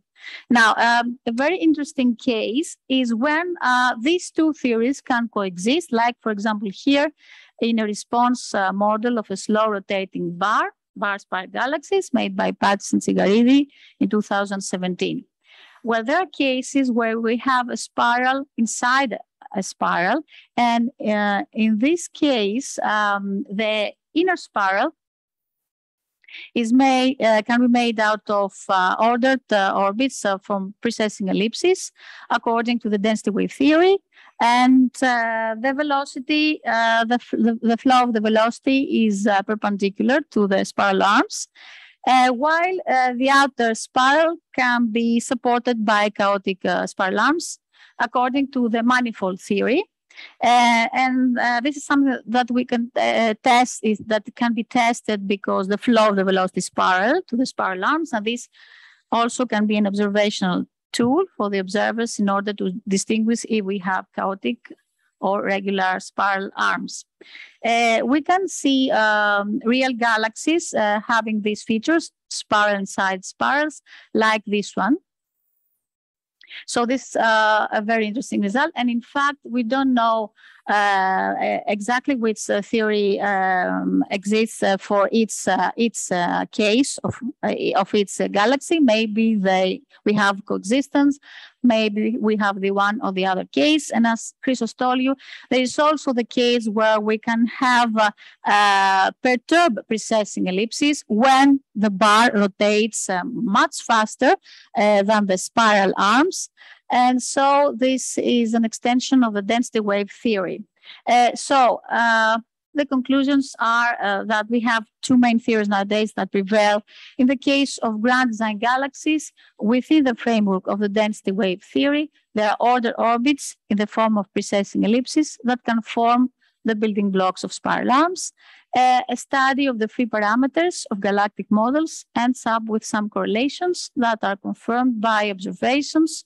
And in the case of the bar spiral galaxies, the manifold theory of sticky chaotic orbits along the stable manifolds of the Lagrangian equilibrium points, but also uh, all the other unstable uh, periodic orbits of the region, um, as well as sticky chaotic orbits, can explain the structure of the spiral arms for the case of one pattern speed as well as for the case of multiple pattern speed of the perturbation.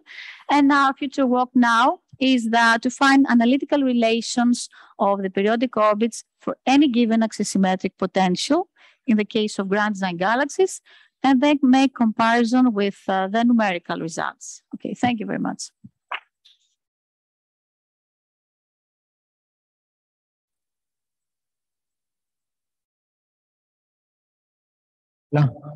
Time for questions. First of all, from uh, people that are around here. And let's check. Okay. Uh, it's another, as you have seen, it is a, a summary of uh, mainly what the manifold theory, in some cases in combination with uh, the density, the, the classical density wave theory can provide us models, trying to find how all this uh, can form the observed bar and spiral structures in, uh, in real galaxies, in, at least in the nearby universe. Go completely the extent of the, like when you create the um, manifold, you create um, sort of outer envelope. Now, when you, when you use the manifold, you create sort of an envelope of the bar, right? So can you go completely, completely outside and it? Uh, in which uh, we have not only the um, uh, the envelope of the bar. Yeah, in this case, yes. It. Yes. Yeah. Uh, okay, now we have uh, three kinds of families. Mm -hmm. The one, uh, as you see, uh, close to the frequencies one over two and one over three, uh, supports the envelope of the bar as well as the inner parts. Uh, but the other that have uh, that are sticky to frequencies that have uh, negative frequency ratio, minus one over one. Well, mm-hmm. uh, if we protect the densities of these kind of chaotic orbits, they can support the outer parts of the of the spiral arm. So we can go even far, far away from and the bar. this can this be populated with particles? Sticky. Okay.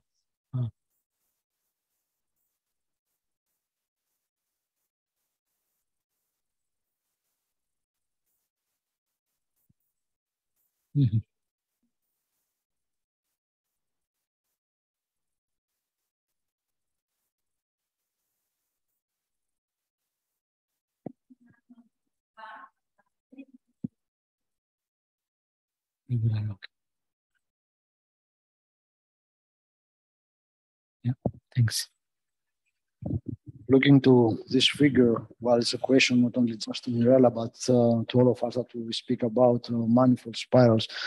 Uh, is it, uh, what would you, how would you comment, uh, uh, well, a statement that the part of the spirals that are deviate azimuthally 90 degrees from the Lagrangian point or the end of the bars, whatever, can be easier described by the manifold theory than uh, the second part. Let's say starting from L1, you have 90 degrees uh, about uh, uh kind of uh, strong support, but the second half towards the other, the L2, let's say, it is not that this, uh, as easy to to model with the, the, the orbits of the manifolds as the closer to the, emerge, the, the Lagrangian point from which the spiral emerges.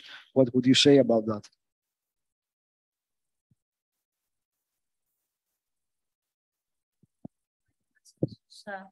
Uh, have uh, shown before that there are uh, stable orbits like banana-like orbits that are uh, that can also support the outer parts. Yes if they are the same, they model the spirals uh, uh, efficiently, the same, uh, the efficiency of the of the uh, of the manifold spirals is the same close to the Lagrangian point they emerge as well as the other one, or they are uh, they can produce stronger spirals closer to the emerging point. This is what I'm. No, I I think uh, from uh, these n-body simulations uh, that we have shown that uh, we can uh, also support um, uh, the outer parts of the spiral arms with these chaotic manifolds as well as the as well as the inner parts for this specific n-body simulation.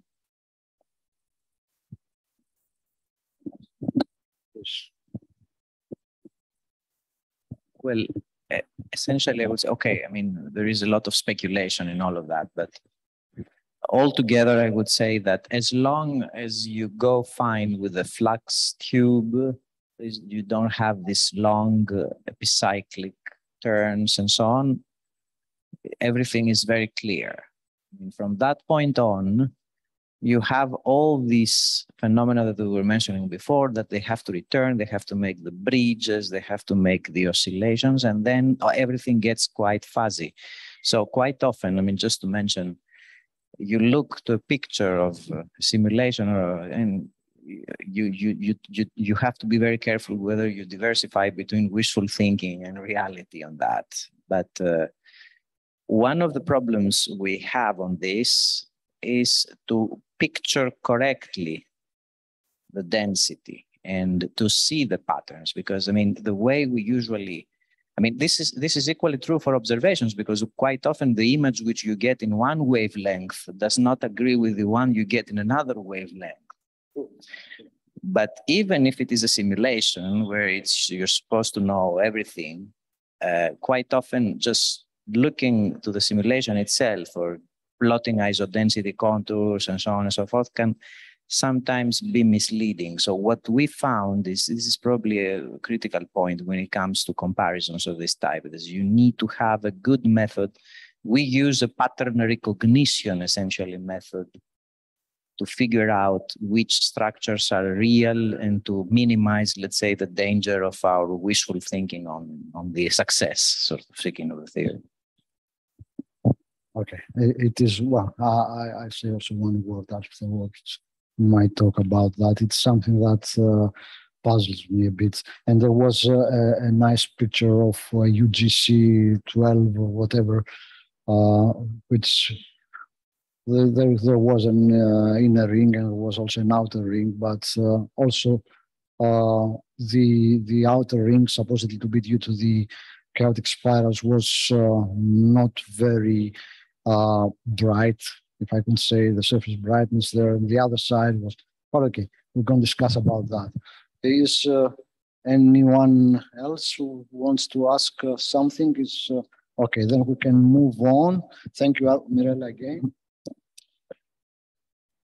And uh, the next talk uh, will be given by Torsten Naab. Now we I hope we don't have again the, the, technical problems we faced before. Now we go to a PDF file, then we're gonna come back to PowerPoint. Let's see if this makes the, the trouble. Now we go uh, to talk about uh, uh, galactic clusters, which uh, okay, the distribution on the galactic is an issue and is very interesting, but also it is very interesting because the, they are, the light they have, they contaminate uh, the, the near infrared observation, especially, which uh, one would like to, to know exactly how much, and this uh, is, uh, makes uh, the importance in burn greater for the for, writing down theories. Okay, the formation of galactic cluster populations. So, Torsten, you may Yeah, uh, thank you, Panos, for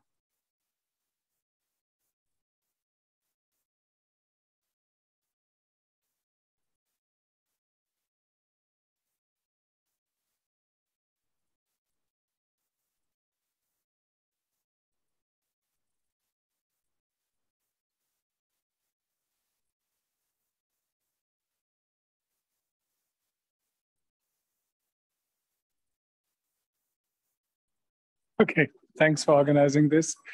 Um, I will talk about the formation of galactic star cluster populations. So much about bars and spiral arms, you can see why. The this is this is a picture of a grand design spiral.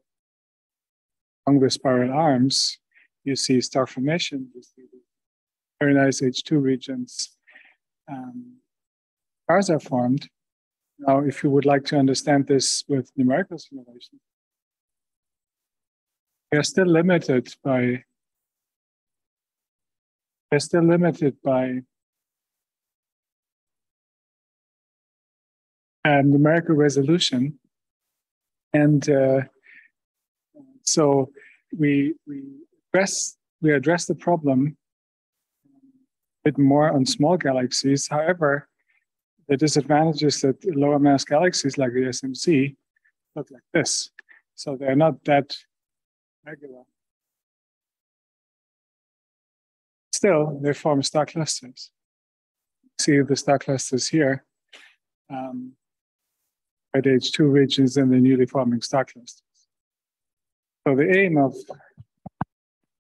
the aim of this is to um, of this whole project which I'm presenting is to have simulations which have the capability to resolve the interstellar medium and the formation of star clusters. And we do this first in small galaxies. Um, here's an example of such a star cluster um, in the Small Magellanic Cloud.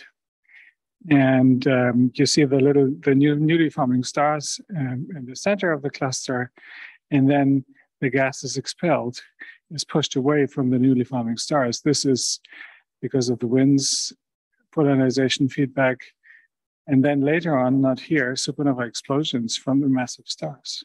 So we would have to account for the effect of massive stars in the evolution of star clusters. Here's another example of the Milky Way of an H2 region on the left. And on the right, down in the corner, you see the effect of a, of, of a stellar wind, pushing away the gas from, from the region. And um, here are examples of supernova explosions. These pictures are 1As, but the ones I'm talking about are type 2 explosions. They just look so nice uh, so that I can and show them. And supernovae are actually the only, pro, uh, the major process generating turbulence in the interstellar medium and providing a hot phase to the interstellar medium. This hot phase can drive outflows. And these outflows are seen in starburst galaxies. M82 is an example. And here's another one, NGC 3079. Um, but let's go back to M82 because it's so nice. You see the gas is expelled from this from the galaxy.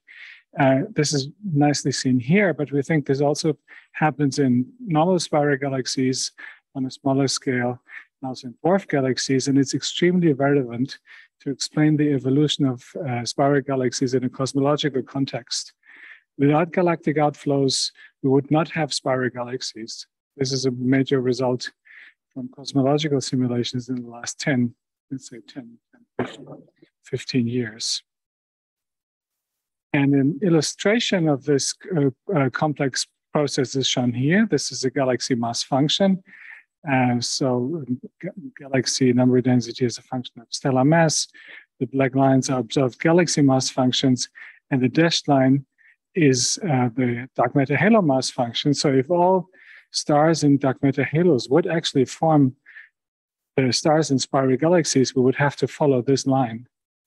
But the galaxy mass function at lower masses, below 10 to the 5 or so solar masses, is, is better so this is the effect of feedback, of stellar feedback. And this is the reason why uh, galaxy formation simulations um, have been successful recently, the last 10, 15 years, um, in reproducing something which looks like a flat spiral galaxy, sometimes even with features you would say are spiral arms. Only works if the simulation managed to um, implement or manage to drive galactic outflows in the early phases of the evolution of these systems. We don't have this. All the gases turn to stars very early on. Everything is spheroidal, and we don't have the late infall, the late continuous infall. Leah has talked about this this morning, uh, which makes these large scale, large size disks. So the downside of these simulations, partly, not all of them, but of the large-scale cosmological simulations, is that the interstellar medium looks a bit like this. Um, it's not pretty well resolved. Um, and here's an example from my. But actually, the interstellar medium looks like this. It has structure on small scales, 10 parsec, 5 parsecs, 100 parsecs. It's structured. It's a three-phase medium. It has cold clouds embedded in warm gas, embedded in hot in a hot medium. The hot medium is driving the outflow. So you cannot understand star formation or star cluster formation in a direct simulation of a, of a galaxy without resolving these phases. And this is just a side note, all these phases leave, leave observational traces. Or, you know, in the you know, millimeter infrared optical X-ray gamma ray. Uh, so we're working our way forward to actually out of the simulations. So when a supernova explodes in a dense region like here, in a cold phase, nothing much happens. If it goes off in a lower density region, it has much more impact than if it's in a very low density region, the impact is even stronger. So this means that where actually the supernova explode um, matters uh, for the impact of the supernova explosion. And you would naively say, oh, supernova explode in the birthplaces of the massive stars. But if that were true, we would not drive galactic outflows. We would not create a hot phase in the, in the interstellar medium. And galaxy formation would not proceed as we see it. No disks. Okay no extended spiral galaxies. So here's a, very illustrative and very simple example. Um, it's a numerical experiment. You see on the left an edge-on piece of a galactic disk. It's a stratified box. Okay. Cooling processes, everything included. But here we have a fixed supernova. Let every supernova explode at the densest region of the simulation at the time constant rate of supernova. And you see the picture, the picture below is a face on view and temperature coded. This is a two-phase medium. So this does not work. This does not this does not form a realistic interstellar medium.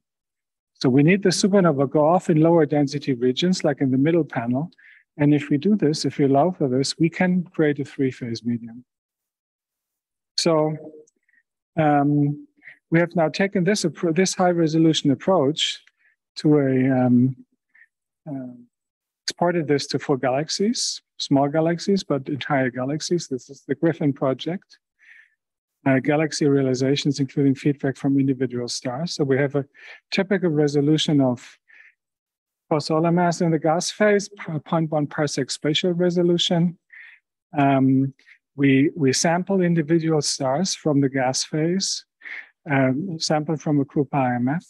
So, and every massive star, we realize in the, in the simulation, we follow the stellar evolution tracks. So we take into account the uh, photon emission, H2 formation process in the early phases of the stellar lifetime and the correct lifetime for the given stellar mass for the then we have uh, dust and an interstellar radiation field to uh, do cooling in the dense phases of the interstellar medium. And also chemical network.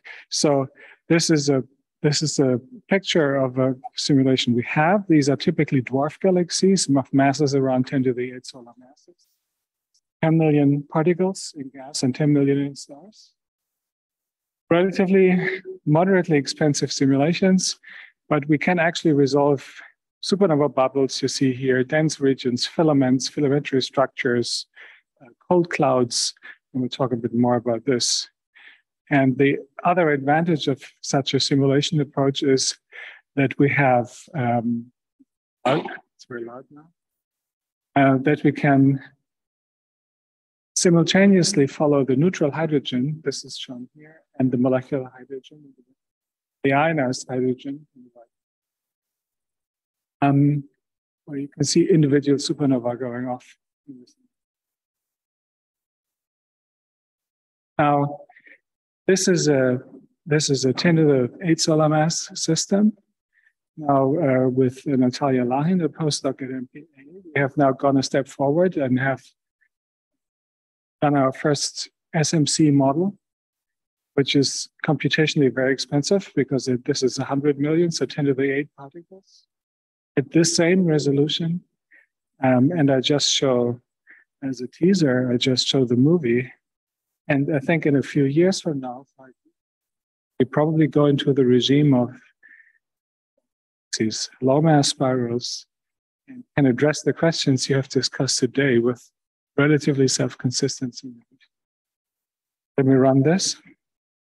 On the left, you see the newly forming stars, uh, gas surface density, temperature, and pressure, edge on and face on view. There's a ring structure developing here, which is a bit of the, a remnant of the initial conditions. Um, it's not so easy to set these systems up in equilibrium, even if when you have. But this is what we're trying to achieve in the future. This is clearly a supercomputing project. This is done on the one of the world's fastest supercomputers in Garching. Um, we, one of the additional strengths of the simulation is that we have an interstellar radiation field, and the strength is shown here. This is important because we need shielding. We have to account for the shielding from UV radiation uh, in the regions that are collapsing, dust shielding and self shielding correctly follow the formation. Hold my face. Um, now, the advantage of the theorist is we can turn off and on the physical processes we have included in the simulation, repeat the simulation, and see which of the processes is responsible for which behavior in the simulations. And this is what we have done here. So on the top left, you see the our fiducial simulation with photoelectric heating PE and photoionization. And an, an extreme example is the simulation directly below. This has no photoionization from massive stars and no supernova explosions. This is not what a real galaxy looks like. Okay, this is a cold, cold disk, a thin disk, no hot phase, no structure. There's there's another interesting simulation here, which is the one on the lower right. And you can almost by eye see the difference. There are no hot bubbles, there are no low density bubbles, which are hot in the simulation. And this is just because we have terminated the lifetime of the massive stars to 3 million years. So we don't let them live for like 10, 12 million or 20 million years um, as they would. We just terminated the lifetime. So they explode in dense regions still. And this has a dramatic effect on the outflow from this system. And the outflow rate is shown on the top panel and just compare the black and the purple lines, which are the ones I talked about um, in the previous plot. And the outflow rate is a factor of 10 different. So we basically only create outflows when we take into account the full stellar evolution of the massive stars. And the reason is that we change the densities in which the supernova explode.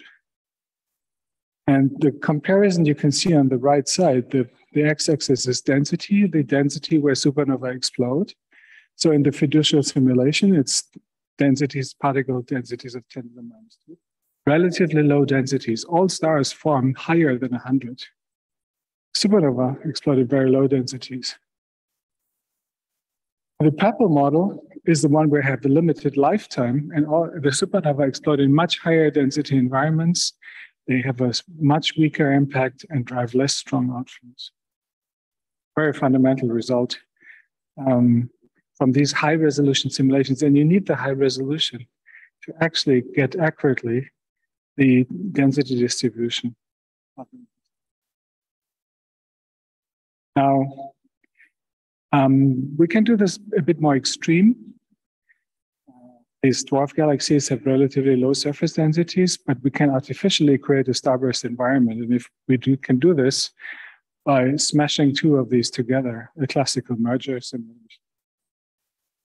See the new stars forming on the left, the gas in the middle, pressure, uh, temperature on the right, and you can see these star clusters here. Okay, so we form a very reasonable population of star clusters in the simulation. We have this, starting to have the uh, resolution power to do this. And we not only form star clusters, but we also, before we form the clusters, we form, form cold clouds. And uh, Konstantina Fotopoulou, a student, analyzed this in her thesis and she has identified all the cold clouds, which are molecular clouds, molecular clouds in the and plotted the evolution of the mass function on the right. The mass function actually follows a power law mass function as observed, which is a consequence of the turbulent ISM, turbulent, turbulent structure.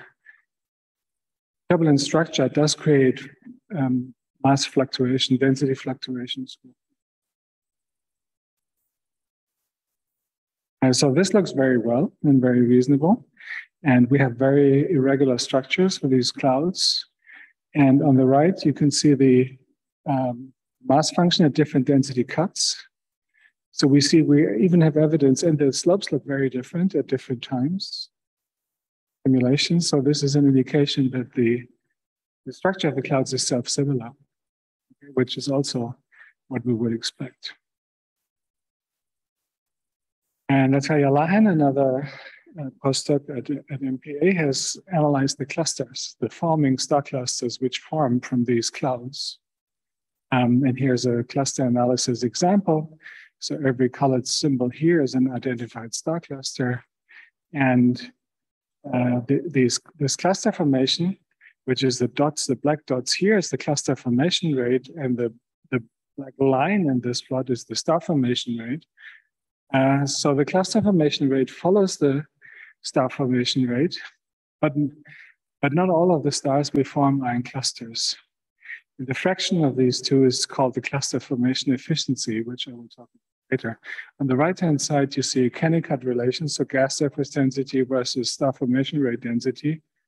And the time evolution of the system is as shown here. It's a normal star forming system, goes in a starburst phase, forms a lot of cluster, and then it goes. Um, and here we have highlighted the, the formation of the three most massive clusters, okay? One, two, and three. And actually, number three is the most massive cluster in the system. It's so massive that its mass resembles a globular cluster. This is a metal poor environment. So this simulation actually has provided us, accidentally almost, with a formation scenario of a globular cluster, which is still a major unsolved question in actually in astrophysics, in all astrophysics. But both observational and theoretical. And here is a movie which covers 10 million years in time only, and shows the formation of this massive cluster. You can see the stars on the top left. Um, there's an incoming supershell created from uh, the first cluster that has formed. And with only within 10 million years, we have the hierarchical formation of a very, very massive cluster. It's little lumps forming together, merging, forming larger cluster. Almost like a cosmological formation of a galaxy, but on small scales and very short time scales. In the end, we have uh, two protoclusters which merge and then form the system.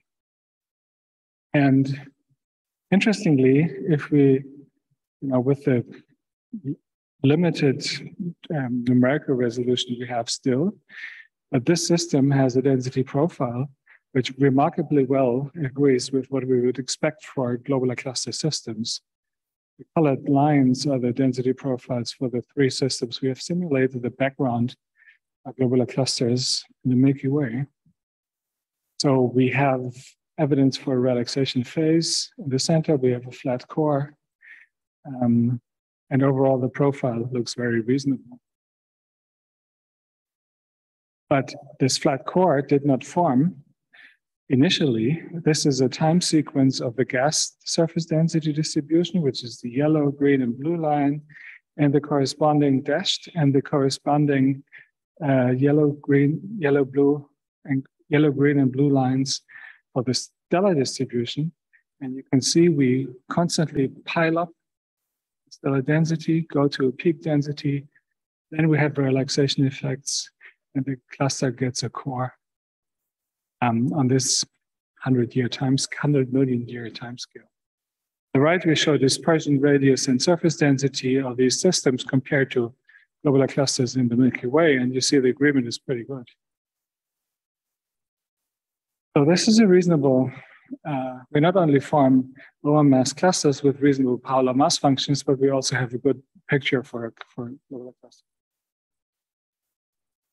Um, and if we compare the rotation properties, here's the velocity and the velocity dispersion as a function of radius with Gaia data. The agreement is also well, reasonably well. Systems we have, it's pretty good. But we can do more. We can now go to the observational space, and this is will also become relevant for our new studies on larger galaxies, which should develop spiral arms. So Natalia has uh, applied a radiation transfer tool to the simulations we have and created mock HST. We can create mock HST images of the emerging system here. This is an example. And we can even create full SEDs. Oh yeah, this is rotating a bit. It's a very it's a very low metallicity system. That's why the dust is not so apparent. Hence solar metallicity. Um,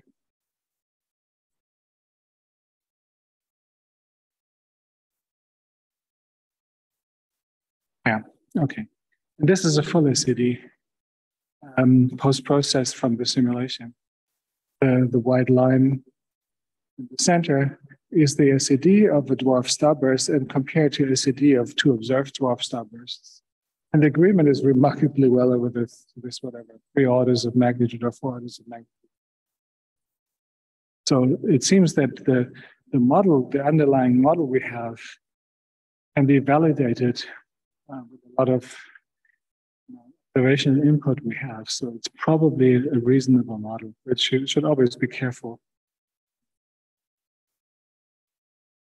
Um, now we can go back and observe the cluster mass functions.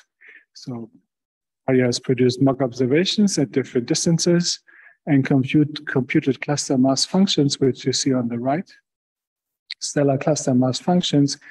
And you can see the effect of resolution. So if the object is further away, 50 megaparsec, and then you get the red cluster mass function, so you get crowding. So the apparently biggest clusters become more massive, and you lose information about the lower mass clusters. And this is better if you have better resolution. I think this is um, also in agreement with what we would expect, but it also shows that we can still recover the slope of the cluster mass function even at lower resolution imaging. We are curious to see how this works out now when we systems. So I'm already at the end. Um, the, the conclusion of this and the takeaway is actually that the ISM and the massive stars and the interstellar medium drive galaxy evolution. Together with, of course, the cosmological infall and the dark matter content in the galaxy, the star formation itself uh, is regulated by internal processes largely, plus the inflow from the outside. And the important physical processes of setting the cluster mass, cloud mass functions, cluster mass functions, so on, is probably turbulence driven by the supernova explosions in the interstellar medium. This is a process which both sets the scaling of the cluster and cloud mass functions, but also drives outflows from forming and evolving uh, these galaxies. Simulations are possible. We can go up to, to masses of about 10 to the 9 at this resolution. We go to higher resolution, we have to rely on more aggressive subgrid modeling uh, approaches. But it is possible, and I'm sure within five years, we will reach 10 to the 10. Um, so in addition, I've shown you that we have, uh, in, if we go into, into, a starburst regime, we form more extreme cluster masses, and we can probably form something uh, like a globular cluster system, um, which is quite exciting to me because this is one of the few simulations that seem to be able to at least go in this direction. We, we have a, with these high resolution approaches, we have generated a new class of problems because uh, star clusters are not collisional, collision, not collisionless. So we cannot make this assumption anymore for the high, high density stellar systems. So we have to we have to include numerical techniques which can resolve the collisional nature of their evolution, which can also involve stellar mergers, binary stars, and so on. This is something we have to work on. And we probably need a more efficient class of uh, uh, simulation tools which can um, cover these um, these timescales, which are seven, eight orders of magnitude in timescales we have now in the simulation. And a colleague Antti Rantala at MPA has recently developed a new n-body code, direct n-body code, with an hierarchical time splitting scheme. I mean, for those maybe you might want to look at this. I like this kind of problems. Uh, so that might be a way forward. Um, they technically solve this problem. Stop here. Thank you.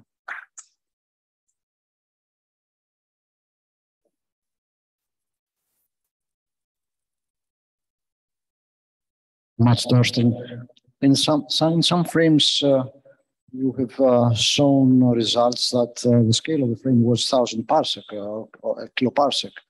So uh, what is uh, how good can you resolve areas like this? Can you uh, have all these phenomena studied in good resolution in these scales?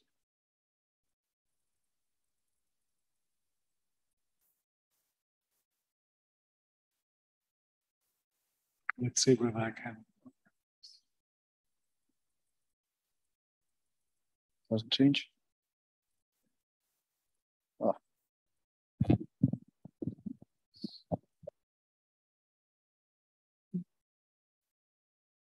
I do it by hand. Oh, yeah. Oh, before one.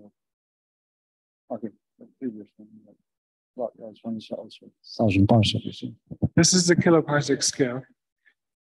This system has the same resolution as the other system. It's high resolution. This is the best we can do at the moment. Well, it is it is an area about the central kiloparsec in galaxies where all these uh, phenomena are really very interesting to be studied. So I think that already you can attack this. yeah, but but you know, limiting yourself to limiting yourself to only the central region of the galaxy has other problems. Problems. So it's much easier and straightforward to actually try to as I said, we are slowly getting there. Okay, uh, questions from the audience here, Kanak? Hi, uh, very impressive simulations. And uh, I have a question on this dwarf galaxy simulations that you're doing. Um, so you allow for infalling gas? No, we don't. You don't? Uh, we have uh, not in what I've shown here. We have simulations with extended hot halos, which can cool. Uh, and we have also now starting to do cosmological simulations of low mass galaxies, but not in the simulations we have here. Okay, so I mean, I just wanted to out of my interest because um, one of my student is working on the uh, blue compact dwarf galaxies at intermediate redshifts. And in that, we what's interesting that we found is that the in situ versus the ex situ, the clusters. Like the uh, in the BCDs, we seem to have um, the clumps of like 10 to the 6 solar mass or few times 10 to the 6 solar mass, really like young stars mostly. They come from outside and getting in. So do you have a scope for looking at that? Um, blue compact dwarfs, you said? Yeah, this is a, just a dwarf galaxy, but yeah, we do blue compact. It's a starburst galaxy. I mean, the the existence of globular clusters and dwarfs is kind of a riddle, um, in particular because globular clusters themselves make up a large fraction of the stellar mass. Mm-hmm. So, if I have problems imagining imagining this as an ex situ origin. Um, if in the absence of stripping, say, okay, if because the Fornax, for example, six globular clusters, but the galaxy itself, most of the stellar mass is in global, significant fractions is that if they were accreted, they would have to be accreted from smaller subunits. And the only solution I would see is that the smaller subunits were the globular clusters themselves, which is not excluded, but I find it very difficult to imagine. If you have stripping, then of course you could have a larger, you could have had a larger galaxy. The other parts are stripped globular clusters. That's possible. And uh, one quick one the, how do you know that these are like globular clusters? What properties that you see? Is it the mass distribution, or is it the, the cluster that you form? Are in what sense they're globular cluster? Why not just a star cluster, super cluster? Um, they, they, they, we think they could be globular cluster progenitors because they form in a low, form in a low metallicity environment and they have high masses. And what we know from, and they have a structure which, which would in principle allow them to survive in a galactic halo, for example, or for Hubble time. We know this from n-body simulations. So we, if we take, if you take an n-body simulation with a very similar initial condition, very similar initial density profile, and you know that these would survive. Okay? They're compact enough and massive enough so that they would survive in the tidal field of a massive galaxy. If on the right. Thank you. Okay.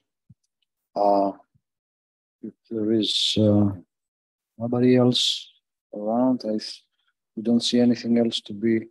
Okay. So uh, we're ahead of time, but that's not a problem. I think it would be uh, we can uh, finish earlier. So we can move to the last even by myself.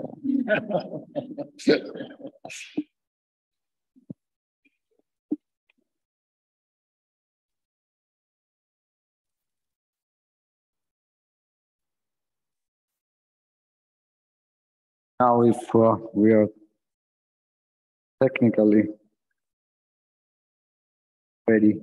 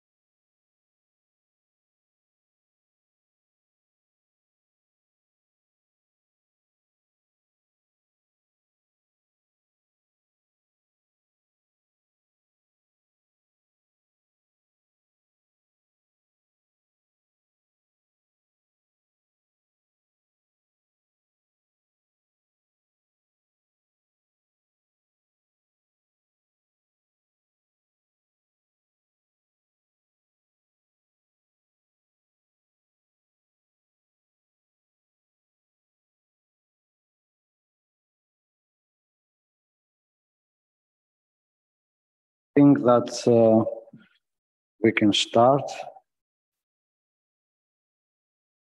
If you have any problem uh, with uh, following us, please just uh, speak or send something in the chat. For in the room, everything seems to work. So uh, at the end, uh, I don't have conclusions. We have heard all the the theories that can be applied for describing the observed structures we are speaking about, namely bars and spirals. Uh, they have been presented. I will do, of course, the same, but uh, as the title suggests, uh, actually I will uh, present open questions, things that I think are not concluded. Uh, the same structure, a bar or a spiral, can be modeled, represented, maybe modeled if you want, uh, under several scenarios. And it is very difficult to uh, point to the right one. So it's good to have a, a look in all these uh, possible scenario and try to find what will be the, the criteria that will allow us to conclude. So, uh, okay, like, uh, uh, let me, it doesn't change. Have at least one way to, to change the, uh, the transparencies. So galaxies are everywhere. This was a very popular uh, picture in the last uh, month in uh, in the press when uh, James Webb Telescope started sending us uh, nice pictures.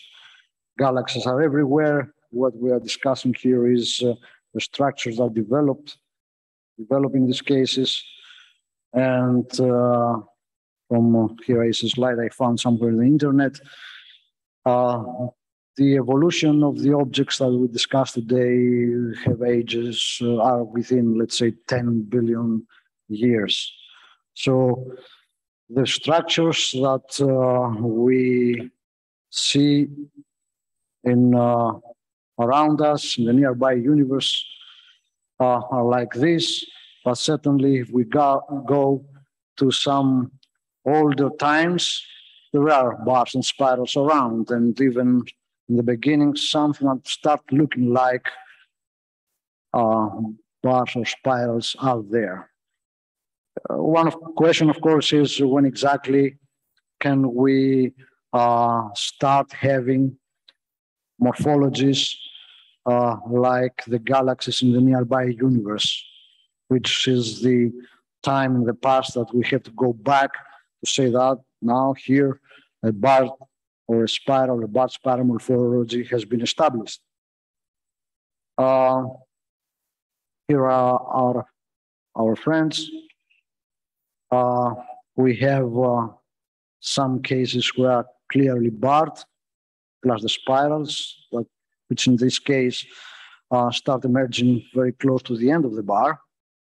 Then we have uh, these uh, cases like NGC 2997 here, where we, it's a nice example to, to, to present the fact, the scale is not the same, but you can understand exactly what is what, uh, that uh, the central regions in the near infrared uh, frequently is different from what we see in the optical in the nice images that we have used to look at in atlases of galaxies. This is a nice case.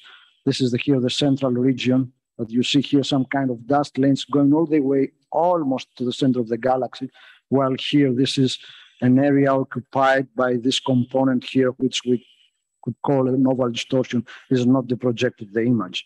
Okay, and then there is this other kind of uh, of uh, spiral galaxies which in the optical look uh, like uh, multi-armed flocculent if you want, but you go in the near infrared and you do some uh, very standard, I would say, uh, image processing, for instance, in this case, but from a paper in 98, uh, what has been done here is actually, okay, to project the image, but then divide by the n-axisymmetric background.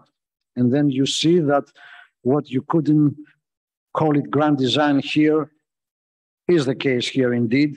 You have spirals emerging out of a kind of, uh, well, I don't want to call it a ring, but an area uh, tangentially from this round uh, configuration here. And they go, they have a symmetric part somewhere here up, up to uh, in larger distances. There is something that can be of maybe not part of the grand design, but here you have a very constant pitch angle indeed. And this is one of the issues that I will stress also in uh, in uh, in other slides uh, uh later. Uh, look, it is a nice example. Have it in mind. Well, it is not an exception. Here you have a multi-arm of flocculent galaxy. You go to the near infrared basic image processing, then you get a grand design with a constant pitch angle. Okay, here it is 29 out of 7. And one question that I have heard from people discussing, especially uh, since we have started discussing about chaotic spirals, could all spirals that we see around be chaotic, Lyapunov orbit stuff, if you want? We, we coined this uh, chaotic spirals, which a, a, structure cannot be chaotic. It's a, a, a structure out of chaotic orbits, but we're gonna call it vaguely chaotic spirals. Well, here, do we have an oval distortion? Yes, we do. Here it is. So why not all this stuff? Here it's a grand design thing. Again, a nice case where uh, much of the uh, stuff in the optical, the structures observed in the optical, uh, it's not present in the near infrared. Actually, I think that uh, also this this branch here uh, is much less pronounced if we compare uh, surface density what what we see here. But in any case, here is the oval distortion I'm speaking about. It's not a bar, but it is not a, a round bulge. And then why not this arm and this arm to be the uh, uh, products of uh, manifold orbits acting on this on this galaxy. You help me. So, but this is actually similar question. If do non-barred galaxies exist in general? The answer is yes, they do. Okay, we do have this uh, these cases like NGC 1033. Okay, there is no bar here. This is in the optical uh, one image that uh, you can find could find in uh, in the web again. Uh, one, some people have done it. Looks around for companions. There are in many cases not obvious companions around, but uh, you have a grand design, uh, non-bar spiral galaxies. This is usually called normal spiral galaxies, normal grand design spiral galaxies. They do exist. They do exist. Uh, we have this kind. Look here. There is another uh, another case, uh, and uh, this is NGC 2857, and actually this is again a picture of, of a Atlas that is uh, one of the galaxies we observe in Helmos here in Greece. In Peloponnese, we can make deep observations there by observing, let's say, a couple of galaxies per night, and then nice features that you don't see on atlases or in pictures out of surveys emerge, and we're gonna use them for building models. We have much better images for that.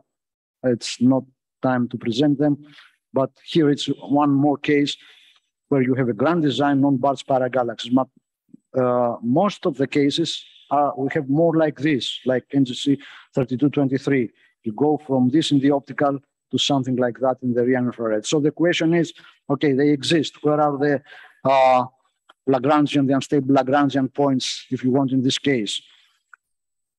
You cannot put them at the end of some oval distortion here, and that uh, uh, in, in, this uh, uh, kind of morphologies. Equivalent, equivalently, if you want, the question is what is uh, the pattern speed of the spiral in these cases.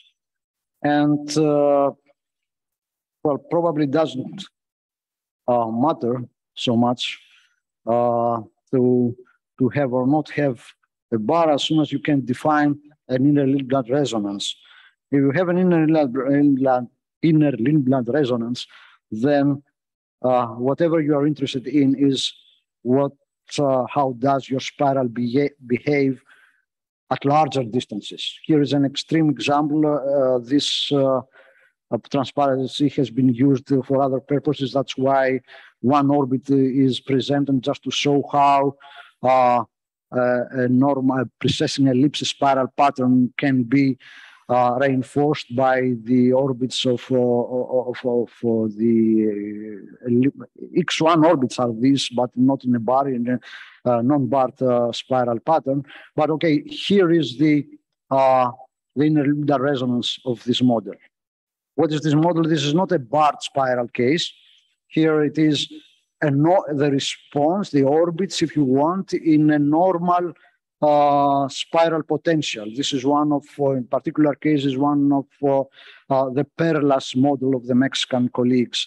Uh, doesn't matter what is exactly the case. What is uh, nicely described here is that when you cross, so this is one family, takes one family in this particular model. When you cross the inner resonance, then what happens is that the pi, the p I, as I call it here, the pitch angle, increases abruptly.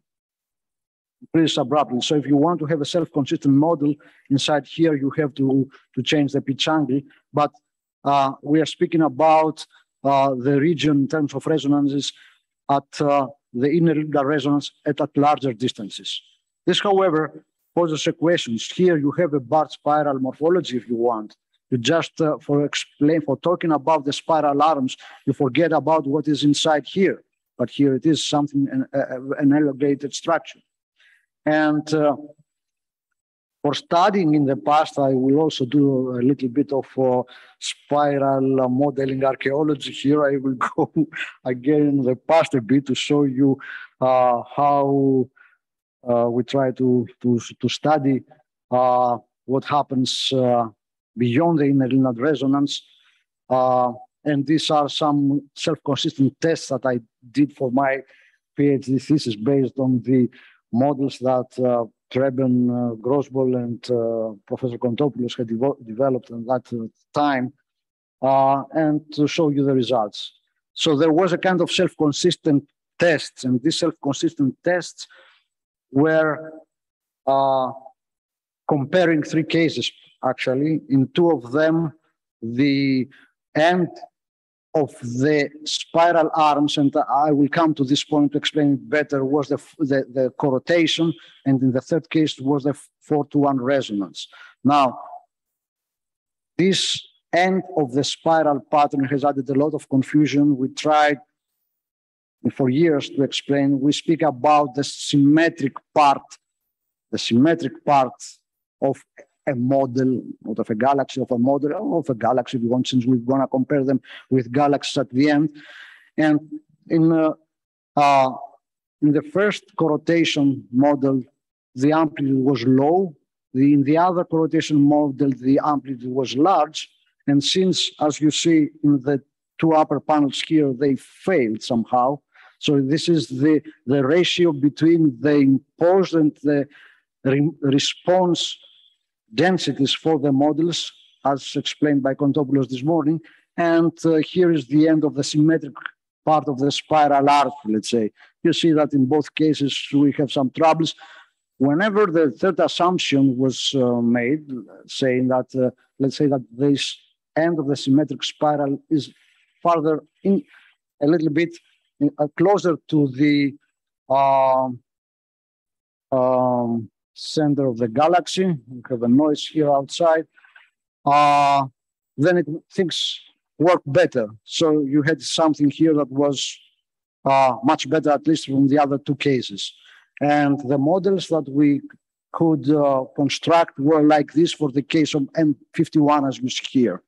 So especially the, the, the comparison of the phases reflected in this density map uh, was in very good comparison with the, the projected uh, image of the galaxy.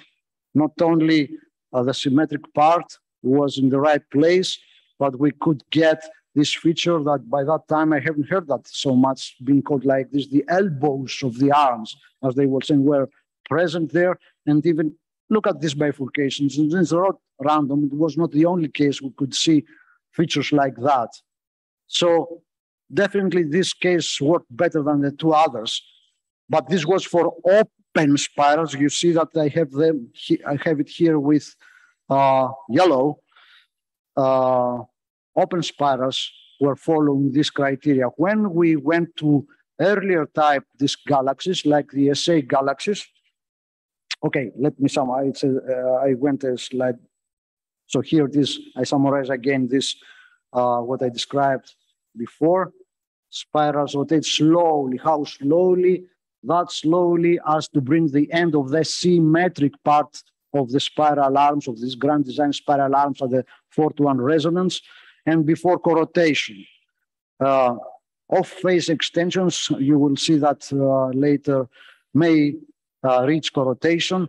And the forcing here was uh, in the range that already has been discussed, 5 to 12%. This was the values between uh, for 12 galaxies that we had studied by that time. Uh, and what were the, the orbits that were making the nice models? They were basically quasi-periodic orbits uh, trapped around X1 orbits, quasi-periodic orbits.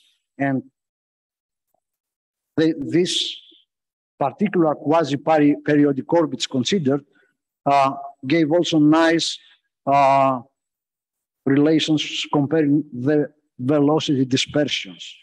So probably we could increase or decrease a little bit, but there were particular, let's say, imagine a Poincare surface of section at a certain energy, then you went to invariant curves not that far away from the periodic orbits. We're gonna see that. So uh, quasi-periodic orbits compatible with the dispersion velocity for the model. We didn't overdo that to go in the chaotic seas around or in sticky orbits, etc. No, we work with quasi-periodic orbits. Now, the slides that I urged to speak about was this one, when we have tightly wound spirals now, not open spirals. Then this restriction was not uh, necessary. I mean that when we had uh, very closed uh, spirals, so this is one of the galaxies of that sample, NGC 488, the projected, this uh, we had estimated the pitch angle to be one degree, let's say.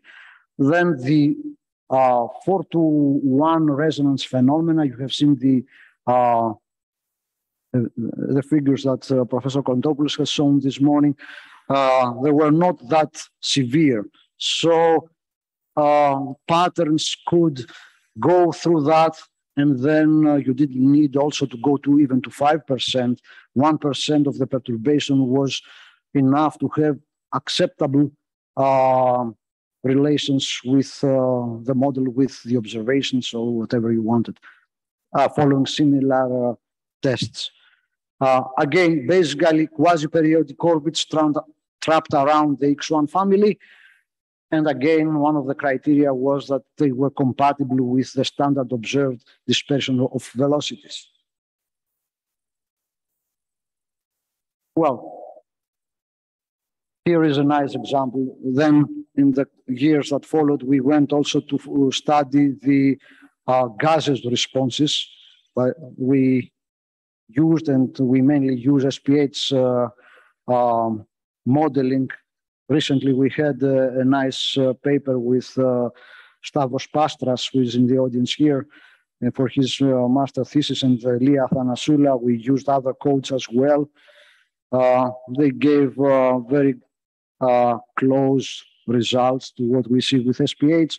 Now, for a paper from 97 here, this is a, uh, a nice uh, observation that Preben got with uh, HAWK-I in VLT. This is the galaxy. Here's a projected optical image of the galaxy. And we did our assumption. So it's like betting. They say, if we consider that this is the uh, the potential that represents the galaxy with this pitch angle, and if this is the rotation curve, in this case, we had some additional assumptions, nm equal one component to make the asymmetry, what would be the response and how does the response compare with the galaxy.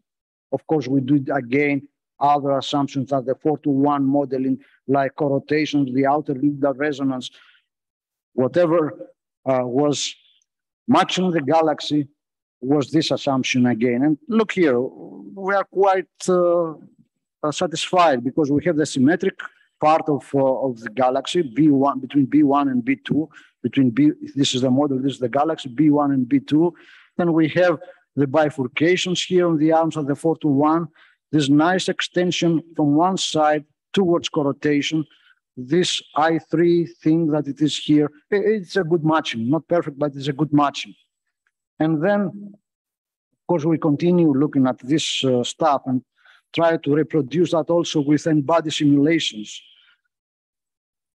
What is this now? Here I have a note. Good, you don't see that? Okay.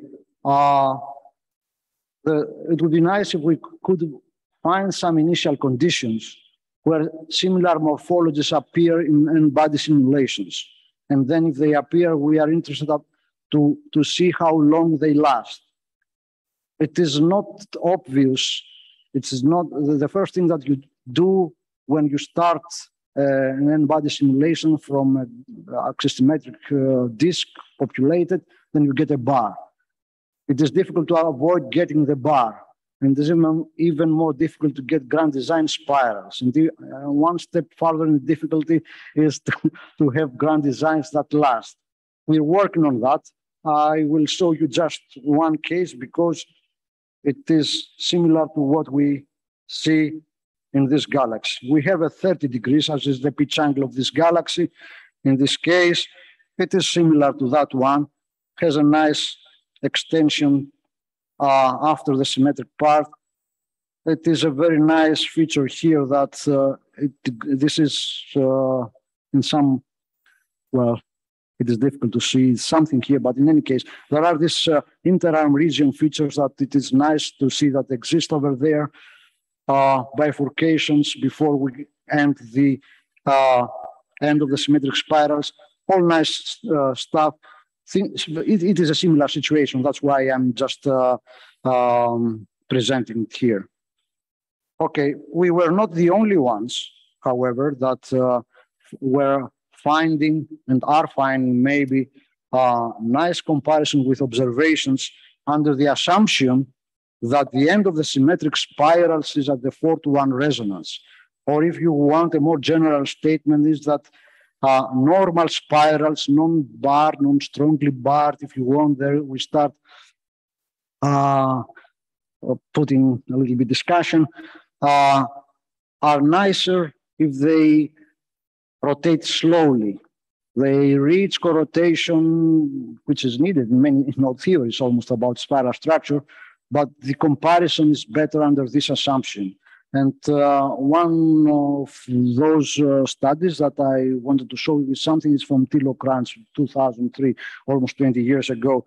You see that uh, here, uh, uh, the circles here are uh, co-rotations. And for instance, in this case, you can have a symmetric spiral part. You see here that is an end of a spiral, go the way through the center of the galaxy, you see that this one, this one is more or less symmetric, then the symmetry breaks. The same here, the same there, etc., etc. So all these patterns do not reach co-rotation, and the fourth one is close to the symmetric end of uh, of uh, of the uh, spiral arms. Actually, uh, they have done one test more than what we did in this series of papers. They had also long slit spectroscopy, and they were uh, seeing com in comparison that these their nicer models had better comparison in, under this assumption with this kind of velocity, uh, not maps, but fields that they could register. Okay, okay. Uh, beyond the one resonance, uh, we have heard that we change paradigm, and then already by the time we were dealing with this non-barred spiral galaxy, etc., we had some indications uh, we didn't discuss, simply we didn't discuss. Here is one of the case, one of the models that were built for 2997 actually, but uh, it's not the purpose to, to compare this with that one. I'm just mainly, uh, I want to, to show you that, look, this one was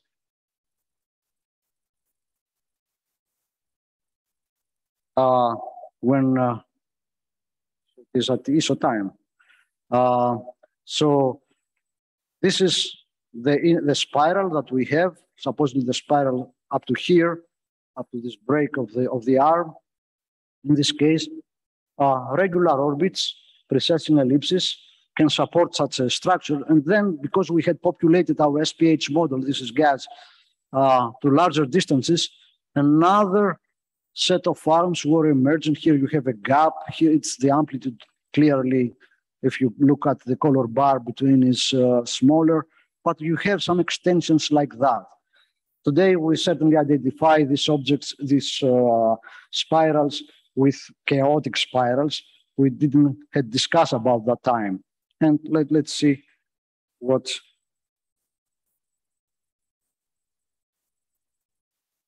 here. Uh, the question that, uh, uh, the first question that I want to, to raise, to, to, to give to the audience for discussion is the one that you see here. If all spirals at the ends of bars are chaotic. So we see a barred galaxy, nice continuation to uh, spiral arms is are there, in all cases, are these chaotic spirals? Uh, chaotic spirals, of course, can be uh, easier studied in barred galaxy, barred spirals, galaxies than in normal spirals because of the stronger forcing. Here we have an n-body model. Here the dust lanes are there. Nice continuation of the of uh, of the density of the higher density regions and an arm, if you want, uh, after the end of the bar. It is in all cases this, at least in all cases, at the end of bars chaotic. There are cases where we say no, because for instance, look here, this is uh, from a paper uh, with Lia, again, 22 years ago. Uh, this is a simple uh, Ferrers bar model in very good agreement with the, the code that uh, she had the famous paper of 92 with all the, the responses. The Lagrangian points of these models are at six kiloparsecs, somewhere here, close to that, are by eye, I put it somewhere here. It's not there in any case. But a rotating bar uh, does leave traces, which could be uh, called spiral arcs or spiral arms. And you see this response model even gives here some empty regions. One would say, oh, here, look, here is the area where the Lagrangian, the, the stable Lagrangian point, L4 and 5 are located. But they are not, because here is the Lagrangian point. Roughly now we would say that, okay, they are never in the same, of course, since we are barred, we have non-axisymmetric models. They are not in the same radius, but they will be somewhere here. So this is farther inwards. On the other case, in the case of uh, this galaxy that has been also presented uh, this morning, L1 is at the end of the bar, and these are certainly chaotic spirals. So how can we distinguish in real galaxies like that? Let me show you a little bit more about this kind of uh, uh, chaotic spiral stuff in some models. Uh, what has been done is that uh, in a few at least cases. We don't have many. We hope to have in the near future more on that. Uh, we have used uh, potentials estimated uh, from near infrared observations, not from us, uh, from other uh, colleagues and collaborators in some cases. In one case, it is was by us for NGC 1300, but 4314 was from Alice Quillen, 3359 by Vera Boonyasait, who has been disappeared. He was doing his thesis at uh, Florida uh, Gainesville University and in the academy here. But in any case, this is the kind of uh, potentials we test uh, this uh, th these orbits, these chaotic orbits, which have, of course, the uh, disadvantage not to be able to go very far away from the bar. But in any case, here we have found out that this is chaotic spirals indeed, and this is the kind of orbits that support it. So you see that we that there are orbits that for sometimes support the chaotic, they support the envelope of the arm. We have studied that with Lia uh, a few years earlier uh, than, uh, well, many years earlier than this paper, right? Back 96, 97, I don't remember. But we didn't go beyond the Lagrangian points we have just the envelopes. If you continue for some energies integrating these orbits more, then they go outside corotation, and then by doing this, they support uh, uh, these spirals. And we did that also later with uh, uh, a model, let's say, for 1300. Uh, and just look at this. Here you have some loops, etc. And also in the previous one, you could see that it is a, you have boxy-like features. So it is the 4 resonance also here again. So these are chaotic orbits that have a 4 to 1 resonant character and they go, uh, if they are integrated for long times, beyond corotation. And by doing uh, this, they reinforce spiral features that are uh, following the bar structure. So uh, if one goes uh, there, can also uh, find manifolds for this because these orbits are uh, are are always um, uh, they, they have a small stable part, but uh, actually mostly they are again unstable. They are sticky orbits, etc. And we can find the manifolds, and if the energy is beyond the energy of Lagrangian points, they escape. Here it's from a figure that I had uh, back to 2013 with uh, Liana Tsigaridi, also in the audience from her thesis. And this is uh, the, the figure that uh, Mirela has shown you before. We call that uh, 56, NGC 56 type response. It's not a, a, model for this particular galaxy, but uh, the, the structure that uh, we obtain in this kind of models can we can say that has this archetype, this galaxy as archetype. So we have a well-developed spiral structure in here. We have, uh, I think Preben has shown one uh, near infrared image of this galaxy. Here we have nice uh, grand design. This is not again, it's nearly the projected, but okay, the particular image has not been corrected for this small effect. Uh, nice uh, grand design spirals in K prime, which is included in a kind of an oval that you see here, which can be considered a kind of a bar. And then you have the Lagrangian points in the model and the spirals. And the first thing one uh, has in mind is, okay, in the same way, somewhere here and there, there are the Lagrangian points and we have the spiral arms. I repeat that this one here is a, a well-developed spiral structure, grand design in the near infrared. Here we have star formation, etc., etc. Is uh, if you just look in images in this galaxy, you do not Im can imagine what's gonna follow. It's not the only object.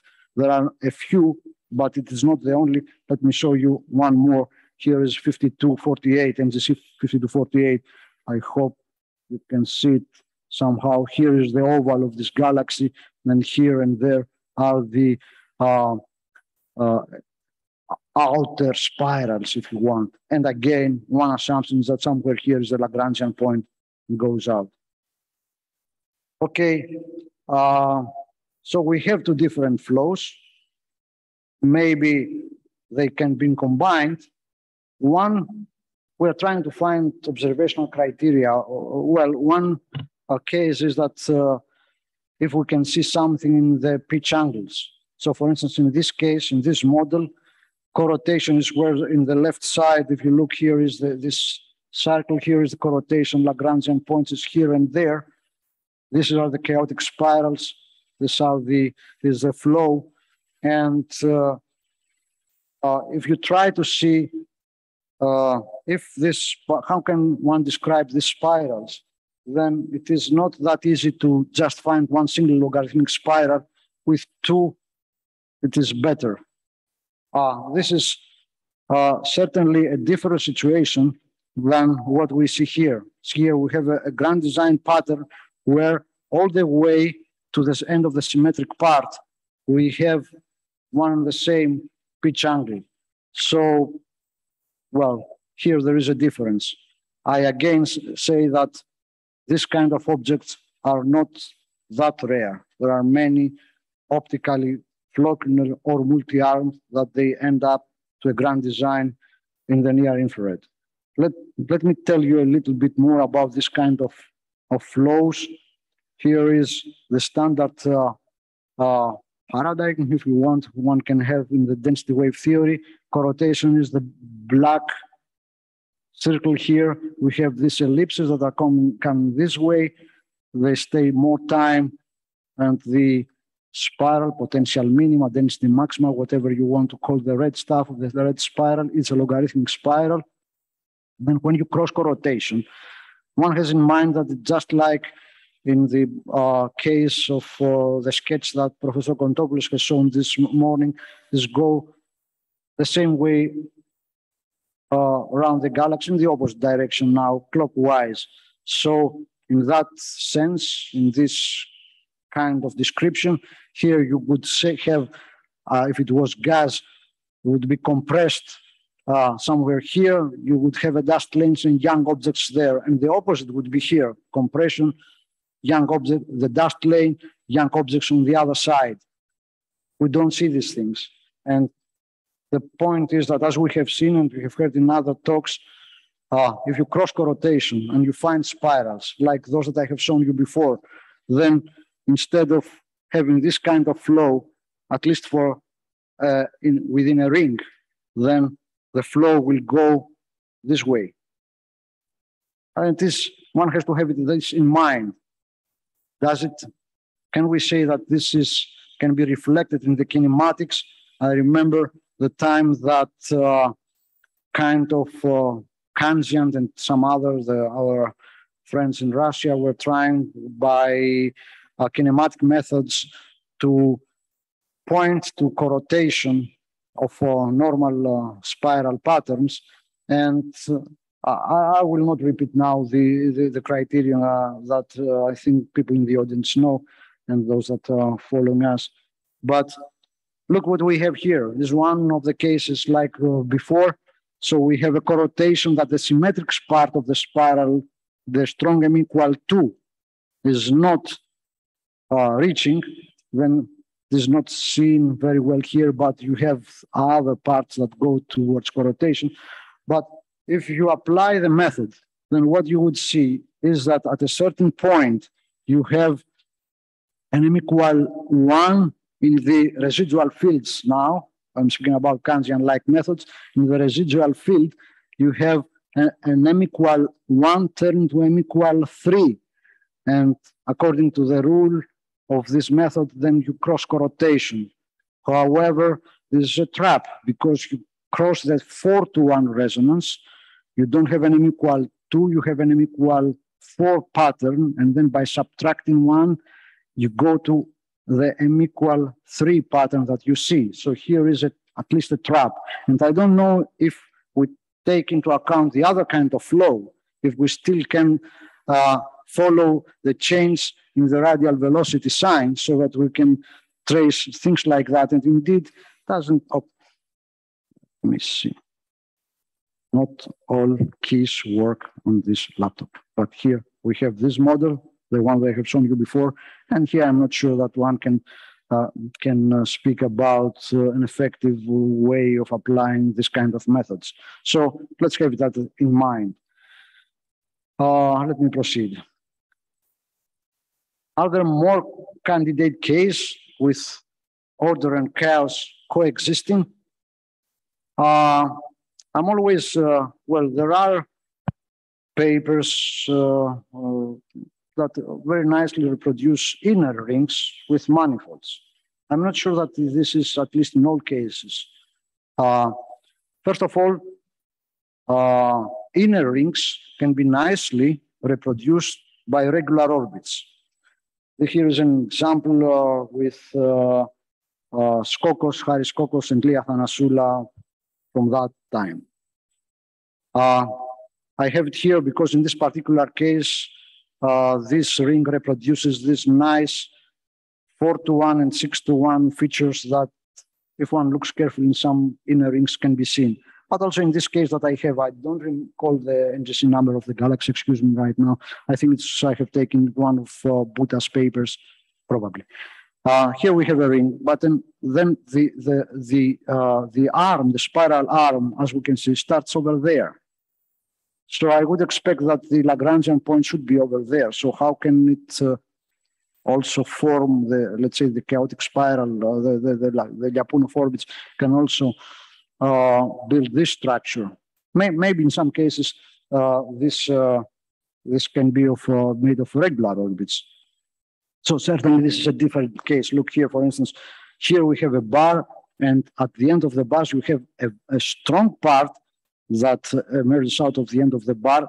It doesn't be this as uh, bright as the, the spiral arm, the outer ring, in this case, whatever, here is much less bright than it is there. The same on the other arm. But in any case, if, and I guess this is a nice case for chaotic spiral cases, the Lagrangian point should be very close to the end of this bar. Here, mm, it cannot be said the same.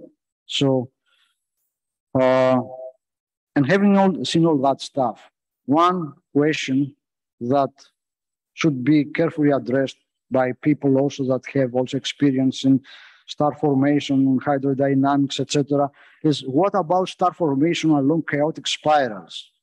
How can we explain the relative location of dust lanes and, excuse me for the young objects uh, along them? So maybe we can see another uh, image, but here there are dust lanes in the inner part of these arms. So here there are dust lanes. In some cases, are much stronger. Uh, okay, could have chosen a better example, but I'm sure you have seen that. So, but on the other hand, we say that if we expect uh, accept chaotic flows, more or less, the flow is along the spiral arms, and in the gas, it is like going in a tube somehow. Can we have again dust lanes in the inner, in the sense of rotation, part of these spirals, this is a nice thing to be modeled. And more questions? Here again, you have seen all these figures like in the morning. This uh, this was the most popular of the one-day workshop, I think. But uh, okay, this is what uh, uh Dave and Professor Contopoulos uh, proposed for. Well, they didn't propose; they had a, they had a problem. I remember the, times they were trying desperately to find regular orbits in the region and they couldn't and that's why they had to accept that okay we're going to use the chaotic orbits for bridging actually the regular stuff and the regular stuff existed like this look in this particular uh, it was for an i think uh, uh, for a galaxy that we have seen also this uh, in another talk and christos i think has shown uh, this 3992 okay the outer parts of this galaxy were reinforced by these minus two to one kind of orbits. And you see that here you can indeed have material coming from outside the spiral, shocked and get inside, and in this way produce. Of course, in this case, the dust lanes would be on the opposite side. But in any case, here there is a regular family that could help uh, in principle uh, in uh, supporting the spiral structure uh, if it was populated. But I'm again, I am again coming to the question if we need these orbits or not to have a nicely described spiral structure azimuthically all the way, at least 180 degrees from the Lagrangian point they emerge. And okay, let me also mention this other family. It is uh, it is related with the families at the uh, stable Lagrangian points. It's not the, the typical one. It's not uh, an uh, uh, let's say asymmetric uh, banana-like orbits. In another other family, rather obscured, because in most cases, the members of this family, like the last one here, uh, does not intersect either of the axes, so it's difficult to find. But in any case, exist also other families that, uh, if we, you consider, they could support the outer parts of, of the arm. So here is the question: Do we need them, or can we exclude them? One more strange situation. we speak about chaotic spirals. Can we speak also about chaotic bars? Chaotic bars, you would say, how can you have chaotic bars? This is uh, a nice example that I, I like to present it. It, it is a surprise, still it is a surprise for me. Usually we get an analytic uh, for making orbital uh, structures, we get an analytic, nice analytic, uh, uh, nicely behaving analytic potential so that we, in the old time was caring also about nicely calculated second derivatives, but in any case now we don't have this, these problems. And we thought that by, let's say, uh, varying the pattern speed, we just scale a basic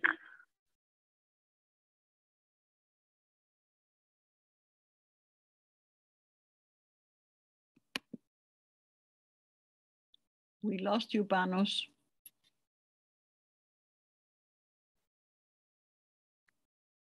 Um, Panos, repeat. We lost for the last part. Okay. Ah, uh, yes, yes. I got an. Uh, also, excuse me for that. I got the the note. Uh, internet connection is unstable.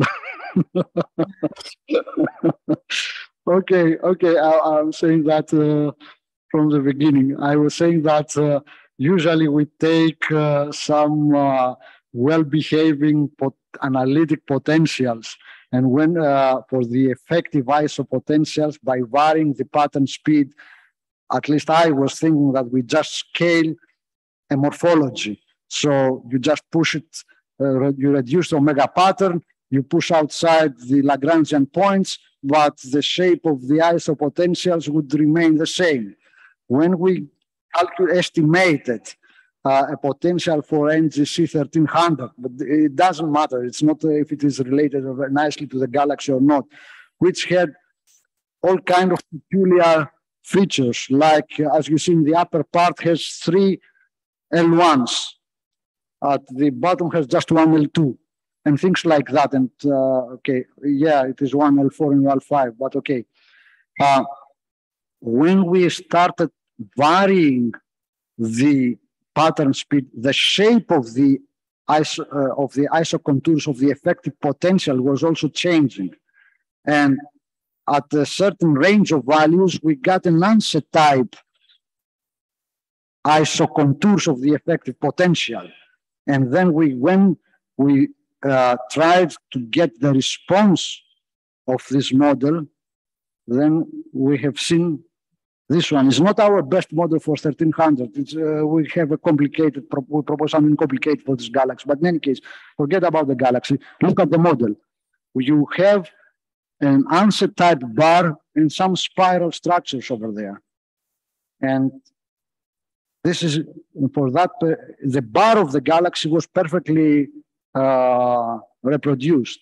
You see here, this is the contours of the, of, this is the iso, surface brightness ISO contours of the galaxy on top of the model. Fails getting the spirals, has its own, doesn't doesn't care about uh, getting the, the spirals of the galaxy, the model, but the bar is very nicely there. And this bar is what we found here. The point is that this is uh, a bar that practically is out of chaotic orbits. So there is the shape is not uh, by trapping of orbits around stable periodic uh, uh, orbits of X1, for instance, but it is because it is the allowed at the, at the various energies, the allowed space the, uh, in phase space that can be populated. So it's like having a fly going uh, here and by doing this, it remains in the predefined area. So orbits like this, I have shown you before. So uh, there is, if there is an X1 family with stable uh, orbits, yes, there is one.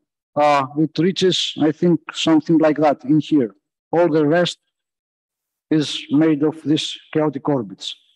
One more question. If we can have chaotic allow me to use this term, bars.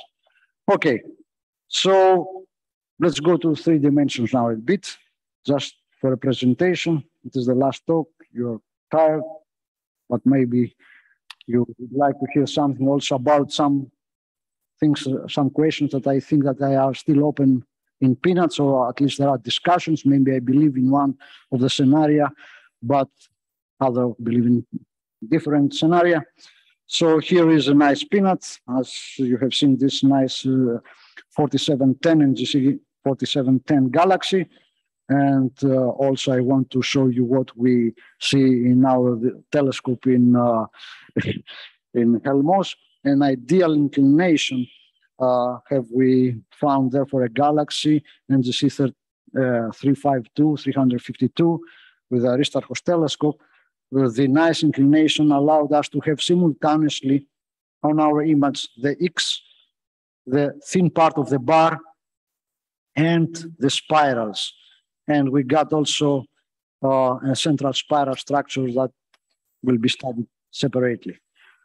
Okay, uh, so assessing the role of the families of periodic orbits for that one, this is what we propose. Uh, Mainly, I have the transparency for the central figure, which shows the way in a side-on view of a model how the uh, vertical bifurcations of X1, this we call X1 V1 family, uh, are arranged. So at their apocenters here, uh, they stay longer time, and so they can reinforce the X. There is another family of unstable orbits uh, they play the same role. Stickiness makes also again the trick. We had shown that in a paper with Mirella a few years ago. So this is what, uh, well, actually, I believe that it is the case uh, that uh, mainly um, supports the uh, the peanuts. And uh, Christos, I thought that in the simulation that you have shown during the morning, you had also these nice bumps that, yeah, really, yeah. So that, that's, we have to, to look at it. Uh, and uh, however, there are other groups that believe that uh, orbits, we would say of higher multiplicity that close in uh, more than one revolution around the center of the galaxy could play the role. So with Lia, we studied all these families, so at least to know what we are speaking about and where they are coming from. And here just have one transparency to show you what other kind of uh, stuff could be proposed as building blocks, things like that. I remember is in one of the cases. Look at this as well. Uh, uh, well, uh, one of the things that these theories have to overcome is if you take many of these orbits and you do an arrangements one within the other, as I did before for X1 uh, V1, do you get the morphology? This has to be studied. Also, again, one has to, to be careful about the, you remember in the two-dimensional models, I was speaking about the dispersion of velocities. So how far away can you go from the periodic orbit you consider? These more than uh, one multiplicity orbits are in a way children of X1. They are other families, of course. They are not direct bifurcations that we find in the stability diagrams, are of uh, second generations, like Poincare was saying, orbits. Uh, but if you consider a surface of section, the real question is how far away from the initial conditions of the periodic orbits you can deviate so that you get something that you can get as building block. And if you have young objects, even if they are sticky, they don't have the time to change morphology. And uh, in these simulations that we're doing with Torsten, and I have shown in preparation, preparation, preparation, so many uh, figures, uh, the, the, the, the, green uh, stuff, there are objects, uh, stars that have been born after the beginning of the simulation. And then you see that they do very much uh, they are the, the, the, peanut. So it seems that they probably do they have the time to to get uh, uh, to have higher dispersion of velocities? Can this structure sustain over there? A few slides more before I close. Here, let me tell you about uh, some uh, thoughts about inner boxiness, face-on boxes in, in the bars, but we are speaking about the inner boxiness. Uh, you will see later one, I show you here some uh, characteristic uh, orbits and arrangement of orbits. Sometimes you get also a circular ring around that stuff in some cases. And again, here is the same question practically. You have the, the periodic orbit. How far away can you go from the center of the island? And if you consider of larger and larger dispersion orbits. If you, if you deviate from the periodic orbit, then you go to, towards uh, uh, the outer uh, invariant curves around the periodic orbits or to the chaotic sea. And then a very nice example like that is in the inner Lindblad resonant regions where you have uh, multiplicity two and multiplicity three orbits. Very interesting objects. Even a recent paper with Lia and people from China, we study their effect the point is that if you consider, if you forget about the elliptical ring-like quasi-periodic orbits of the nearby invariants of X1, uh, varying from model to model, which will be the last invariant like this, then you go and you get boxy features like this one, like that one, etc. And where are they? I told you before that this uh, uh, Poincare section is close to inner res resonance you correctly, you can imagine that they will be closer to the center. So here is with Manthos, we had some a paper several years ago. So is this stuff that will be represented here? We try to emphasize that by applying some smoothing filters. This red stuff here in the center are uh, is by uh, uh, uh, uh orbits that are uh, farther away. We have selected orbits farther away on the and this can be combined some cases with the peanut. So you could try to see if you have double boxiness. Here's some a case from Peter who was here in the morning. Uh, some galaxies that have inner boxiness. Uh, they can be or can be or not related with uh, the uh, the edge on peanut. And here is just one example for this. Here you can see that this face-on structure can be combined with this X1 V2, I would call shape. If you look uh, from above, this will be an, an, ellipse. So in this case, they wouldn't. But in that case, or in that case, we can speak about double boxiness. So I'm coming to the end. So questions, 11 questions that I mentioned uh, during my talk. I let them there. If uh, you want us to discuss one of them, I don't repeat them. You see them on the on the, uh, the screen. Thank you very much.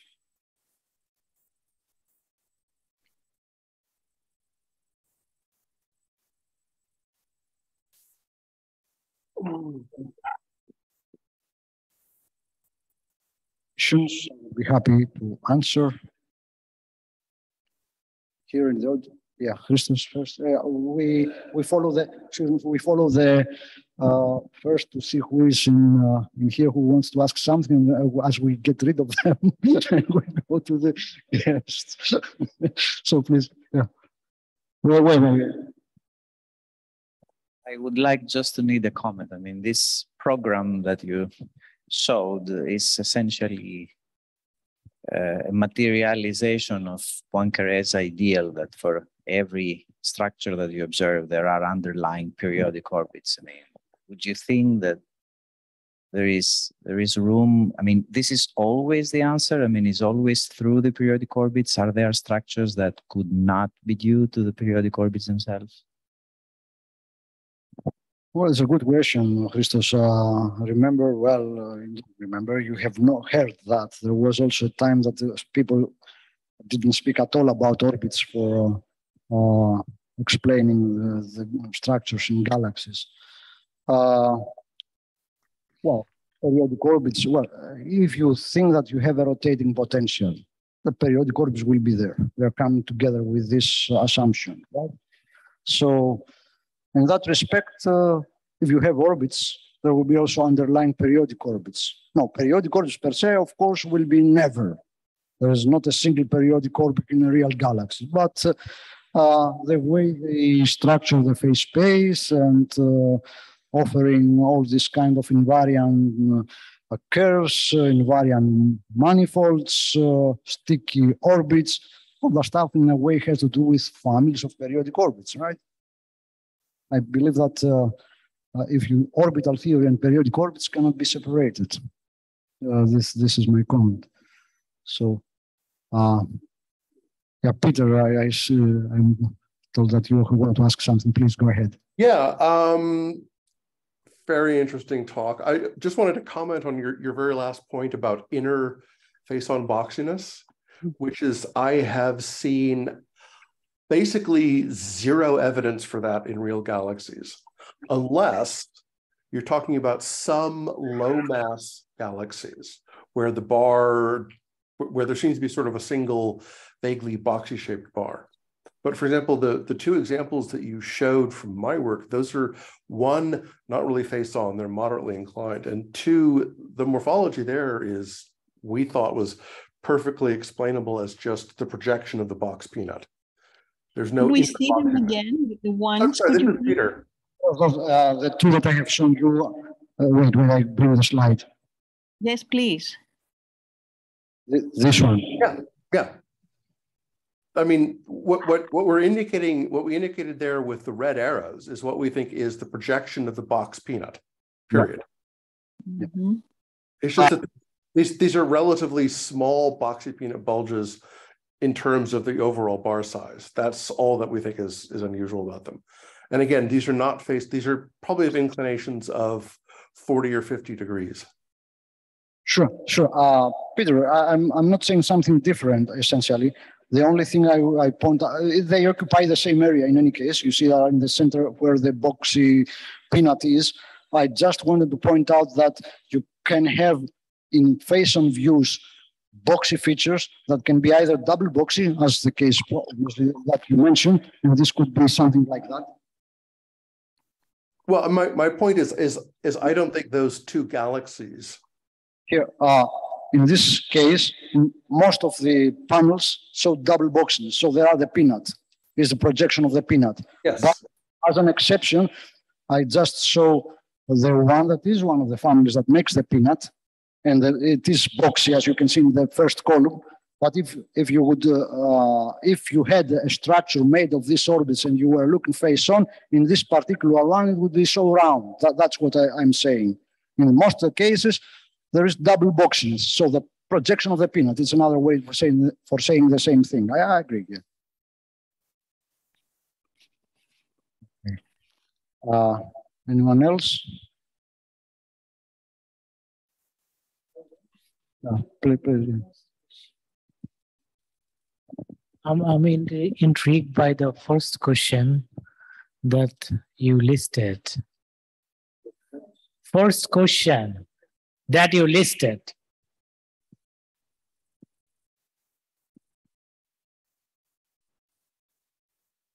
Yes.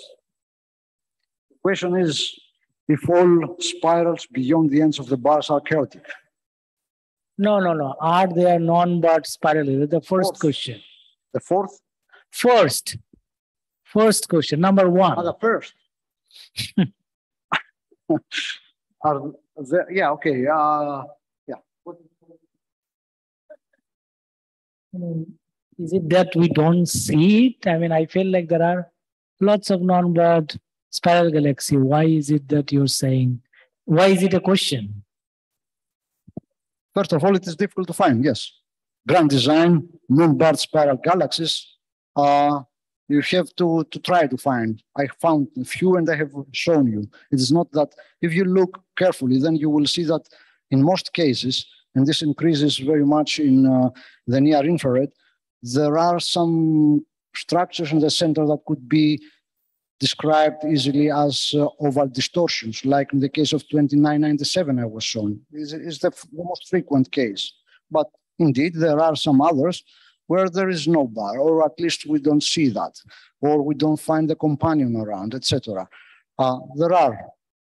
Uh, my answer is positive. I mean, there are non-bar grand design spiral galaxies. It's not the most frequently structure that you can find in the sky, but yes, they, they do exist, I believe.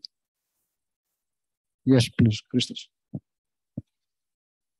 But actually, that brings a very interesting question because you can add to that. Are there, let's say, normal spirals that have no companions, or that you can claim that the spiral structure itself was not generated by the interaction with the environment? Do you find anyone that you could positively claim that it is isolated enough so as not to need, let's say, the environment for causing the spiral structure? Uh, isolated from the environment, I believe there is no galaxy that has been developed. but if you have an object there for let's say five giga years without a companion, if if it exists, right? So my question: if it exists and you don't see any obvious, at least companion, okay, you have to. Uh, uh only in this way only in this way I can say I couldn't find an obvious companion that create, but it may exist.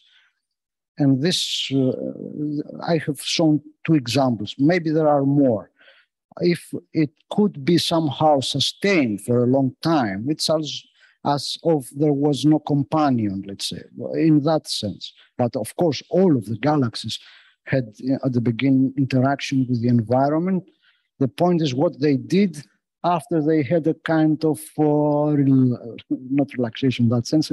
They have uh, not uh, any more strong uh, influence from the environment. So you don't have uh, even the M51. I have, I don't remember now the paper that they they were claiming that uh, the the largest part of it doesn't feel the companion. It's just the tidal arm. Yeah, yeah. Yeah, it is. Mm -hmm. Well, it's a very difficult question in a way. I agree with everything you said, Panos, but it's not an easy question to, to look at because, first of all, you don't care that much about big things. You the smaller but nearer things are much more interesting for creating structures like spirals and, and bars. Then the other point is that sometimes they're behind the object, the main galaxy. So you'd have to do proper photometry and look at the symmetric part to make sure that there is a blob there or not. And then the, the third thing or fourth thing, I can't remember, was that the, um, the, the, it's not what you see today, but if there was a trajectory that brought it near and hit the galaxy, then it goes relatively further away. That's enough. So you don't have to look at only the present position, but the past positions. It's really a, a mess of a story. It, it is very difficult to, to say that. But as I said, uh, okay, uh, do we care of, I mean, if there is an oval distortion or not in the center? Only if we are favor the scenario that all the spirals are chaotic, which could be, it's a, a, is a possibility. If we don't, uh, then we speak about something that extends beyond an inner that resonance. Then you see that in the uh, so you forget the, the, structure. Okay, if you do, of course, uh, it can be, have a different pattern speed, things like that. But if you speak about the, the structure of a mode, let's say, that is beyond the inner Lindblad resonance, then uh, okay, this can be combined with an oval distortion with or uh, with different or even with the same pattern speed. For instance, I have shown you this model for M51 it works under the assumption it gives you something that compares well with the galaxy. Now, if it's correct or not, well, at least this test go at least goes through this test. Maybe we can find other tests where this does not, and then we. Hmm.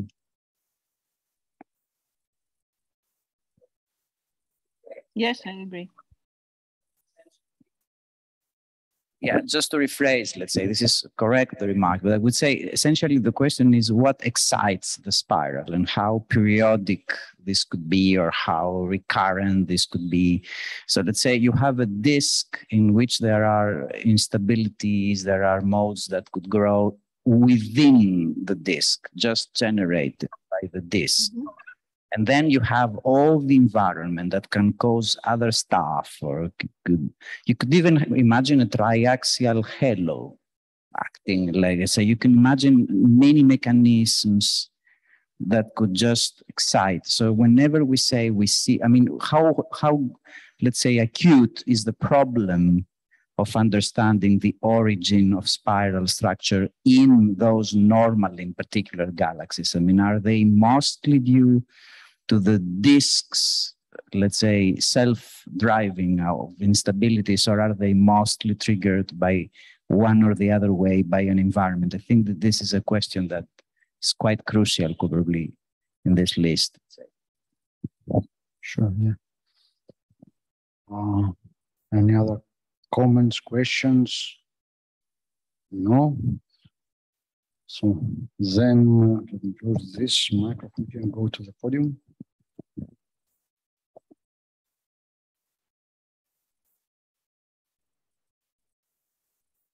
So uh, I want to thank you, all of you, uh, very much. Those that are here and those that followed us from everywhere around the world. I was very glad to see several names on the screen. I hope, I hope in better days so that we can meet in person and uh, have uh, one of the large meetings that we used to have some 15 or more uh, years ago. Uh, I think that there's uh, a lot of things to discuss and uh, work together on on these issues. If if some if you have some good ideas for all these questions, I would be happy to read also your send me an email or uh, it's very nice to discuss with all, all of you all this stuff. Thank you very much. Thank you. Thank you. Thank you to everybody. Yeah, yeah. Thank you. Thank you. Thank you. Bye bye. Thank you. Bye bye. Bye bye. Thank you. Bye bye.